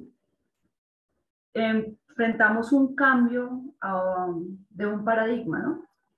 Y pues todos eh, los comentarios que he escuchado de los expositores, qué pena, hay eh, de las exposiciones anteriores, eh, no, no, puedo estar más de acuerdo porque pues esto ya lo, lo, han, lo han evidenciado, pues, eh, por ejemplo, este autor ya desde el 99. O sea, como viejos paradigmas como que el agua lluvia fuera una molestia, ahora pues lo vemos como un recurso, ¿no? que el desperdicio humano pues es una molestia, pues venga, un momento, podemos utilizar el, el desperdicio humano como un recurso, ¿sí? Eh, también el pensar que el agua es un solo uso y ya, y siga, ¿no? No, el agua la podemos utilizar muchas veces. Y lo, pues el último que tenemos en esta diapositiva es sobre la infraestructura gris, que es como todo tiene que ser con infraestructura gris o pues concreto, metal o plástico. Y ahora pues estamos escuchando eh, la infraestructura verde, ¿sí? que podemos pues incluirla y pues eh, hacerla funcionar junto pues con esta infraestructura gris. Pasamos también acá, no sé por qué no está funcionando, acá, listo. Eh, el viejo paradigma de pensar que entre más centralizado sea es mejor, ¿no? Y pues ahorita estamos viendo que pues no es tan bueno o no es tan eficiente el construir grandes, por ejemplo, grandes plantas de tratamiento de agua residual, ¿sí? Por ejemplo, acá en esta ciudad tenemos una super planta, pero pues no nos, no cobija todas eh, las aguas residuales que producimos, ¿sí? Eh, entonces estamos viendo que entre más descentralizado y entre más pequeño, si nos podemos dividir la cuenca por regiones pequeñas, por, eh, perdón, la ciudad por regiones pequeñas, por subcuencas, y podemos tratar el agua, las aguas de esa cuenca, pues sería como lo mejor, ¿no? no esperar pues allá a final de tubo donde ya todos los problemas eh, se han complicado un poco más. Eh, también pasamos de un eh, viejo paradigma de que pues las soluciones son estándar, entonces aquí vemos que las soluciones son diversas, ¿sí? Y que depende de cada, de cada lugar, por eso es que también no, no podemos llegar a implementar metodologías pues que sirven en países con estaciones, pues en el caso de Colombia, porque pues nosotros no tenemos las mismas dinámicas. Entonces toca empezar pues cómo lo podemos eh, eh, adaptar a nuestro entorno y a nuestras condiciones, tanto climáticas como culturales. También otro paradigma que, que, que lo hemos visto y que, que ahí también hay como, eh, empiezan a salir como problemas o como, ah, como dificultades es que ya ahorita la, la, la, integración de los sistemas ya debe hacerse coordinada, ¿sí? Ya no debe estar por, por un lado las aguas lluvias, por un lado las aguas residuales, por un lado la red eléctrica, sino toca hablarnos entre las instituciones. Y lo mismo con las relaciones públicas, con la, con la colaboración, ya no, antes eran todo por relaciones públicas, ¿no? Como venga, hágame este favorcito, toca hacer lobby, ¿sí? Ahora es como, venga, esto es para todos, necesitamos que esto funcione, entonces es más bien como un compromiso, ¿sí? Y eso también, pues, genera un cambio, ¿no? Y es complejo. Eso lo podemos eh, evidenciar acá. Me gustó mucho mostrar esta eh, como evolución de lo que eh, ha visto como las aguas lluvias, lluvias específicamente pues las aguas lluvias, ¿no? Que inicialmente cuando empezamos a preocuparnos por ellas solamente nos interesaba pues sacarlas lo más rápido de una horas para mitigar inundaciones, ¿no? Y ahora pues miren a lo que hemos llegado, ¿no? Con lo que queremos, con las aguas lluvias, ¿no? Que nos sirven para eh, tener lugares que ofrezcan eh, recreación, que sirvan para, para que se vea lindo un lugar y poder contemplarlo. Eh, también nos empezó a interesar la calidad del agua porque nos dimos cuenta que el agua lluvia descorrentía puede ser tan contaminada o tiene, puede tener tantos contaminantes como las aguas residuales. Eh, también pues, nos ayuda pues, eh, la restauración de, de, régimen hídrico también, como el agua lluvia, eh, a la micro, microclima, la resiliencia, la ecología pues, de los cuerpos receptores, ¿sí? y pues la escorrentía como una fuente también de agua potable. Entonces, para que veamos cómo ha ido cambiando pues, o, ha ido evolucionando pues, eh, el agua lluvia. Y esta imagen eh, la encontré, pues la produjo hace poco este investigador francés eh, que la publicó en el 2021 y es para que también tengamos en cuenta cómo, cómo ha evolucionado también el diseño del drenaje urbano. Entonces estamos hablando que en los 70 todo era control hidráulico, ¿sí? Y miren cómo ha ido agregándose cosas. Entonces, para que lleguemos ahorita en el 2020, bueno, pues ahorita estamos ya en el 2022, eh, y miren todo lo que, que ya estamos incluyendo dentro de, del drenaje urbano, ¿no?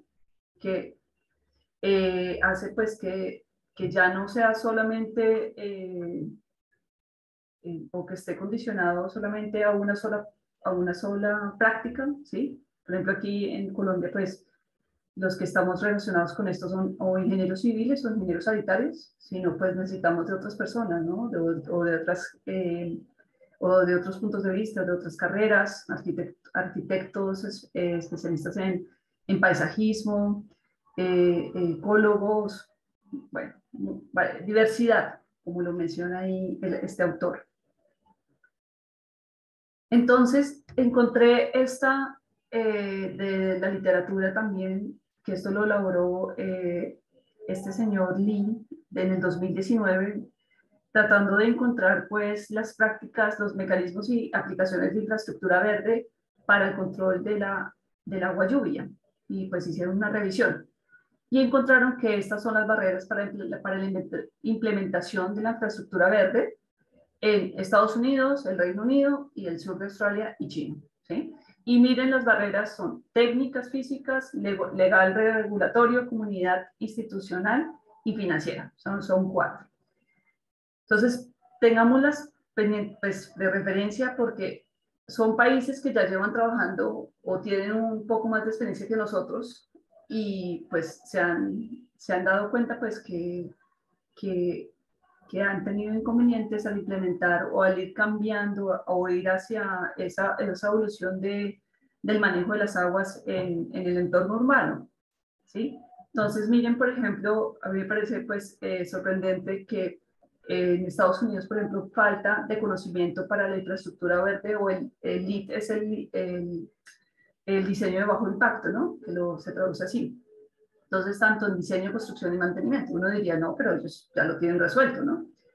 Eh, por ejemplo, en el Reino Unido también lo mencionan y miren por acá esta incertidumbre científica con respecto, a, con respecto al comportamiento hidrológico. Me, me, disculpan aquí que me equivoqué. Eh, y miren, por ejemplo, también en el sur de Australia, que fue donde nació el concepto de diseño urbano orientado al agua, ¿no? O el, o el Water Sensitive Urban Design, ¿no? Entonces, quiero que, que veamos esto pues con unos ojos bien eh, atentos. Miren respecto a lo, legal regulatorio, ¿no? Como no hay una estructura municipal a largo plazo, por ejemplo en Estados Unidos, en el Reino Unido pues la falta de legislación y gobernanza, ¿sí? Miren en China, por ejemplo, códigos y ordenanzas municipales adversas, o sea que se contradicen. También tenemos pues a nivel de comunidad institucional, em, miren por ejemplo la falta de claridad con los deberes relacionados entre agencias, o sea, de quién es la responsabilidad, que es algo que estamos viendo por ejemplo ahorita en Colombia, ¿sí? Que cuesta, como ya somos varios, ya ahí como venga, pero ¿quién le va a hacer el mantenimiento al sur? Dígame quién. Yo no. Entonces empezamos a, a como diríamos aquí en Colombia, a, a rotarnos la papa caliente. Entonces, eh, viene, por ejemplo, la parte financiera, ¿no? Información insuficiente sobre costos, ¿sí? Eh, falta de incentivos, mmm, falta de análisis de los costos y beneficios. Entonces, son todavía cosas que están sin resolver, ¿sí? Y este mismo artículo eh, nos muestra como las estrategias para superar esas barreras para la implementación de infraestructura verde, ¿sí? Eh, pues hice esta, pues, esta adaptación a la imagen y miren pues los participantes y, eh, y las estrategias que proponen para pues sortear estas barreras para llegar pues al, al sistema que queremos pues lograr con la inclusión de la infraestructura verde, de la ciudad de esponja, de los SUDs, bueno, del drenaje eh, sostenible, ¿no?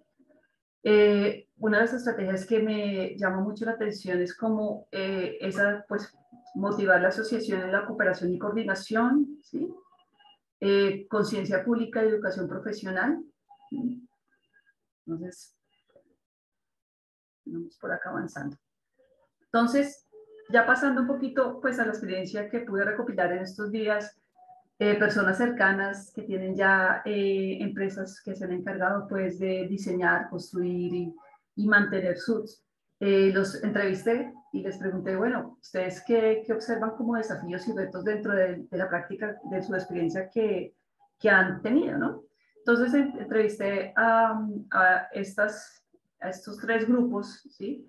El hecho, es una, el es una empresa que diseña infraestructura verde, sobre todo enfocada a, a techos verdes, muros verdes, jardines verticales, ¿sí? Eh, este eh, SUDS convenio de Cali y de la Universidad del Valle es un proyecto que ya estamos terminando, que participé hace poco, porque en Cali es la empresa como de servicios públicos de acá de Cali y le propone a Univalle, venga, ayúdeme a capacitar a mi personal para que mi personal pueda revisar los SUDs que le lleguen para, o sea, como son unos expertos revisando pues todos los sistemas de tubería normal, ¿no? Una tubería de alcantarillado, pero en SUDs no. Entonces, la idea de, de este convenio fue ese, como desarrollar un curso y un piloto, ¿sí? Y acá abajo, pues, eh, el Instituto de Desarrollo Urbano que, pues, ayer eh, hicieron sus presentaciones, ¿no? Entonces, también les pregunté a ellos, a ver. Eh, entonces, eh, vamos, les voy a mostrar un poco lo que me comentó el hecho, ¿sí? Dentro, por ejemplo, este fue un proyecto del Instituto, ah, no, del Centro de Tratamiento de Investigación sobre el Cáncer. Esto fue, pues, en Bogotá. Entonces, pues, los retos de este trabajo fue, miren que fue un jardín vertical, ¿sí? Entonces, miren la altura. Eh, entonces, el reto fue acá, pues, la altura y que necesitaban una super grúa para poder eh, eh, instalar el, el, jardín vertical, ¿sí? entonces, después se dieron cuenta que no planearon cómo iba a acceder el personal de mantenimiento, ¿sí? Porque estas plantas no van a ser, no van a durar para siempre, ojalá, pero sí hay que hacer mantenimiento, las plantas necesitan una, un, un, un corte, un, eh, cambiar sustratos, bueno, entonces pues pensaban, bueno, ¿será que eh, anclamos, eh, hacemos anclajes para que las personas puedan descender? en esas estuvieron pues pensando, eh, también se dieron cuenta que era también no tan fácil coordinar eh, las, labores, las labores de inicio eh, y coordinar como cuándo entran ellos, ¿sí? Entonces, cuándo están listos los muros para entrar a instalar el, el, jardín vertical. Como esos tiempos de obra, pues que antes, pues no, no eran necesarios, ¿no? Este otro proyecto que fue en, el, en un edificio en el centro de Bogotá que se llama BD de Bacatá, eh, entonces diseñaron este gran muro verde, lo pueden ver acá, aquí pueden ver las personas aquí sobre la grúa, ¿sí? Entonces aquí también fue una experiencia muy similar a la anterior, ¿sí? Que el trabajo en alturas, pues como eh, la grúa, pues que tiene un costo que es elevado, ¿sí? Entonces también cómo, venga, esto está grandísimo, cómo le vamos a hacer mantenimiento eh, un jardinero cómo va a poder llegar pues a alcanzar y ocuparse de la plantica que está por acá arriba, ¿no? O aquí en el centro. Sí, eso fue como, como lo que él más me comentó. Este otro proyecto que es de techos verdes, que es uno de los edificios, un edificio que se llama edificio elemento, que se caracteriza por su diseño. Este queda saliendo, según una vez vienen a Bogotá, este queda saliendo del aeropuerto y uno va hacia el centro, entonces si va hacia el centro uno lo puede ver a mano izquierda, es un edificio súper bonito. Entonces, los retos que se enfrentaron a, la instalación de estos techos verdes fue la coordinación en cuando ya estuviera lista eh, la, la losa, ¿sí? Para ellos llegar a entrar. Pero entonces, eh, también por dónde iban a entrar. Entonces, el, asesor de carga, bueno, coordinar, pues, eh, toda la entrada de este material, ¿no?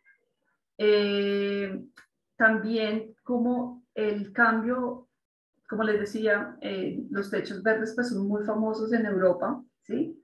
Pero nosotros tenemos regímenes muy distintos a ellos. Entonces, eh, me comentaba el gerente de esta empresa que los drenajes debemos considerar que son distintos. Nosotros necesitamos unos drenajes que, que no retengan, retengan tanto el agua, ¿sí? sino que podamos evacuar porque tenemos lluvias más intensas y más seguidas. Entonces no podemos esperar a que el techo esté totalmente desocupado para que llegue la otra. ¿sí? Eh, sí, por acá sigamos avanzando.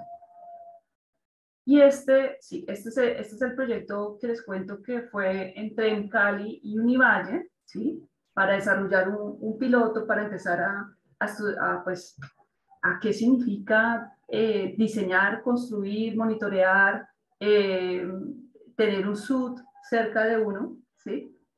Entonces, eh, llegamos, hicimos un análisis, esto participó un equipo súper formado, así de profesionales de todas las áreas, arquitectos, hidrogeólogos, ingenieros, pues, pues expertos en hidrología, en hidráulica, eh, expertos en calidad de agua, eh, que fue, fue tremendo coordinarnos, que le quitó el sombrero al que fue nuestro, bueno, el que sigue siendo todavía nuestro, nuestro coordinador. Y por fin, pues, se decidió por todos los, eh, como les mostraban un poco ayer los, los, de, los que presentaron del IDU, o sea, como todas esas, eh, que uno empieza a colocar información sobre información en planos, ¿sí? Para encontrar lugares más eh, propicios para instalar SUDs o que puedan recibir el SUD sin que haya inconvenientes. Entonces llegamos a este lugar que se llama el Parque La Flora. Este parque pues tiene eh, unas características de comunidad muy fuertes porque ya tienen un desarrollo. O sea, el parque se ha, ha tenido un trabajo de de la comunidad, la comunidad está súper pendiente porque es un parque que la gente le gusta y lo quiere, ¿sí? Entonces fue un reto presentarles el proyecto, porque pues piensan que lo vamos a dañar, porque piensan que vamos a, eh, por ejemplo, estamos planteando que fuera una cuenca seca de drenaje, eh, uno de los SUTs, porque van a ser varios, y la comunidad pues estaba, pero qué tal que un niño se caiga y se ahogue, o sea, temas como, como esos, con mucho miedo, ¿no? Eh, también nos dimos cuenta que es muy importante pues conocer los proyectos que se desarrollan en la zona, entonces, por ejemplo, nos dimos cuenta que hay un plan de, eh, ah, sí, de, bueno, ahorita les cuento lo del, lo del plan. Aquí, por ejemplo, nos dimos cuenta que eh, había ausencia, hay un acuífero muy cerca de este parque, entonces nos dimos cuenta pues que no había eh, datos eh, recientes. Entonces, pues sí, necesitamos eso porque qué tal que la, dónde está el acuífero, cómo está la calidad del agua, ¿sí? también es importante cómo vamos a hacer la descarga de, la, de, las aguas lluvias. Lo ideal es que sea siempre pues a descarga libre, pues para que no tengamos problemas de, ganar de, capacidad. ¿sí? Entonces, pues aquí les cuento, pues, eh, pues en este caso, pues las cotas eh, que no sean mayores a 950 metros sobre el nivel del mar. Y esto pues eran como unos pequeños, de, los, de las primeras inicia, eh, ideas iniciales de SUD sobre este parque, que eran pues al, alcorques, canales vegetados, la cuenca seca.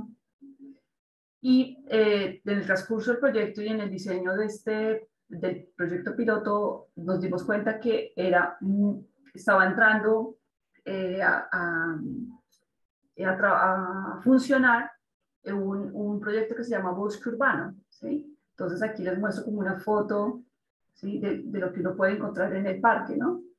Entonces, aquí fue importante con el proyecto eh, hacer como una, una eh, poner ¿cómo se dice? Sí, poner la información del bosque urbano sobre el proyecto para saber qué iban a hacer ellos, o sea, cuál era su plan y saber que pues no nos íbamos, si ellos planeaban poner un árbol aquí, nosotros planeábamos poner un alcorque, pues venga, unámonos, ¿cuál árbol va a poner? Ah, sí, ese no sirve, sí, pues esa especie no sirve, entonces pongamos ese ahí eh, en el alcorque, ¿sí? Entonces nos dimos cuenta que podíamos pues diseñar este espacio multipropósito, y pues sin interferencia con el proyecto pues que ya se estaba desarrollando dentro del parque. Eh, respecto al IDU, eh, me comentaban que, claro, como les comentaba que eh, ya el tema institucional es, venga, nos toca hablar, ¿sí? Entonces, venga, recíbame, pero entonces el, pero ¿cómo le hago el mantenimiento? Hay mucho temor todavía de, de, eso, ¿sí? Porque pues no tenemos los suficientes subs, ¿sí? Y es importante por eso empezar a monitorearlos y mostrar pues que eh, no hay tanto lío con el mantenimiento. Yo creo que sufrimos más, podemos sufrir más con el mantenimiento del drenaje urbano convencional, ¿sí? Las tuberías o grandes colectores llenos de sedimentos, ¿sí? Bueno. Eh, también me comentaban del IDU que ha sido un proceso de aprendizaje por parte de diseñadores que pues que no están acostumbrados a los subs y los constructores que también pues claro se enfrentan a algo eh, nuevo que es distinto, ¿sí? Que hay que tener cuidado pues con los, eh, por ejemplo, con los suelos que están al lado, no compactarlos, eh, la forma de estar, por ejemplo, las, las acuaceldas. también sería genial poder tener una estandarización de los precios por tipología, pero pues es un poco complicado porque cada tipología es, se adapta a eh, un lugar como tal, ¿sí? También es importante pues esa cuantificación de los beneficios para, para poder mostrarlos y para poder disminuir esas resistencias que hay, ¿no? Y también pues incentivar esa apropiación ciudadana, ¿sí? Y pues yo creo que esto, pues bueno, ahorita les voy a mostrar un poquito lo que me me gustaría discutir con ustedes ya para cerrar, que es como realmente pues nos vamos a facilitar esta implementación teniendo más SUTs, y pero teniendo la oportunidad de monitorearlos, eh, comunicar esas, esas, esas eh, observaciones que vemos con, la, con el monitoreo, ¿sí? Eh, mostrarle a la comunidad eh, todos los beneficios que tienen, pero necesitamos cuantificarlos para poder mostrarlos, ¿sí? pero sí necesitamos eso. Por ejemplo, por acá coloco que es importante, por ejemplo, la, eh, la, participación de la academia para generar pues conocimiento local y que se generen SUTs, por ejemplo, en las universidades. Eh, eh, aquí, con la Javeriana Cali estamos trabajando en eso, ¿sí? estamos trabajando en, un, en construir, tenemos un campus muy bonito y en una zona muy verde, entonces tenemos la oportunidad de implementar SUTs dentro del campus para poder mostrarlos. Eh, y también pues empezar a hacer como, eh, empezar a unirnos eh, pues a nivel, y eso que nosotros pues ya estamos como con esas iniciativas porque tenemos una mesa de SUTs para empezar a tener esas bases de datos de los SUTs que se han construido, que esos nos, pues ya tenemos la información centralizada, entonces vamos a tener información de costos, ¿sí? Sí, y eso sería todo. Muchas gracias. Eh, no sé si tienen alguna pregunta. Muchas gracias, Sandra. Gracias por compartir este análisis de la implementación, monitoreo y diseño también de los SUTs. Tenemos una pregunta. Eh, Néstor pregunta, ¿cuál es el próximo paso a seguir para poder consolidar la implementación de los SUTs en nuestros países? Esa es una buena pregunta. Gracias. Eh, yo creo que seguir, el, pues el, paso es seguir trabajando y seguir haciendo este tipo de cosas. O sea, hablándonos, eh, sí, ojalá que podamos tener como, no sé, me imagino una, no sé, una plataforma, crear eventos también locales, así como tenemos el latinoamericano de hidráulica, o sea, empezar como, venga, porque no hacemos eh, congresos de, de SUDS, no sé, empezar a hablar un poco más y empezar a crear la red un poco más Latinoamérica. ¿sí? Porque no sabía, por ejemplo, todo lo que se ha hecho en México y me sorprendió un montón. Quedé como, wow, qué trabajos tan bonitos, ¿sí? Y esos, esos son experiencias que nos ayudan, que porque tenemos situaciones muy similares. Ahorita escuchando a Pablo, nosotros también tenemos en la parte rural situaciones muy similares, ¿sí? Entonces, pues, creería que es eso, es como unirnos y hablar y comunicar lo que hemos trabajado, lo que estamos trabajando, ¿no? Muchas gracias, Sandra. Bueno, creo que ya no tenemos más preguntas, pero sin duda este, este espacio no, no acaba acá.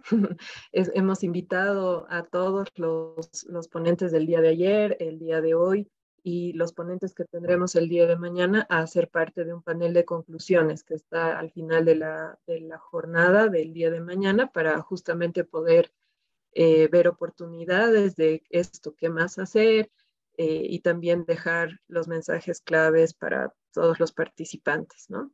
Entonces, agradecerte una vez más, Sandra, por, por la participación. Y ya para ir cerrando, solamente a, modo de, recordatorio, mañana la última conferencia, el último día de las jornadas, es a las ocho y media de la mañana, hora Bolivia, ¿no? es en la noche, sino es en la mañana, para que justamente hemos puesto en este horario, para que justamente nuestros colegas de España puedan eh, asistir debido al cambio de horario, ¿no? Entonces, invitamos a todos los participantes que se han conectado hoy día a que podamos vernos en unas horas más, a las ocho y media de la mañana, y que no olviden hacer el registro, eh, el, último de la jornada, ¿no? Para fines de poder también tener el certificado de participación. Con esto entonces eh, nos veríamos el día de mañana y agradeciendo a todos los participantes y panelistas por haber, por participar de esta temática que es novedosa, pero que abre muchas oportunidades también para poder aplicar, seguir aplicándolas en nuestros países. Buenas noches y nos vemos mañana.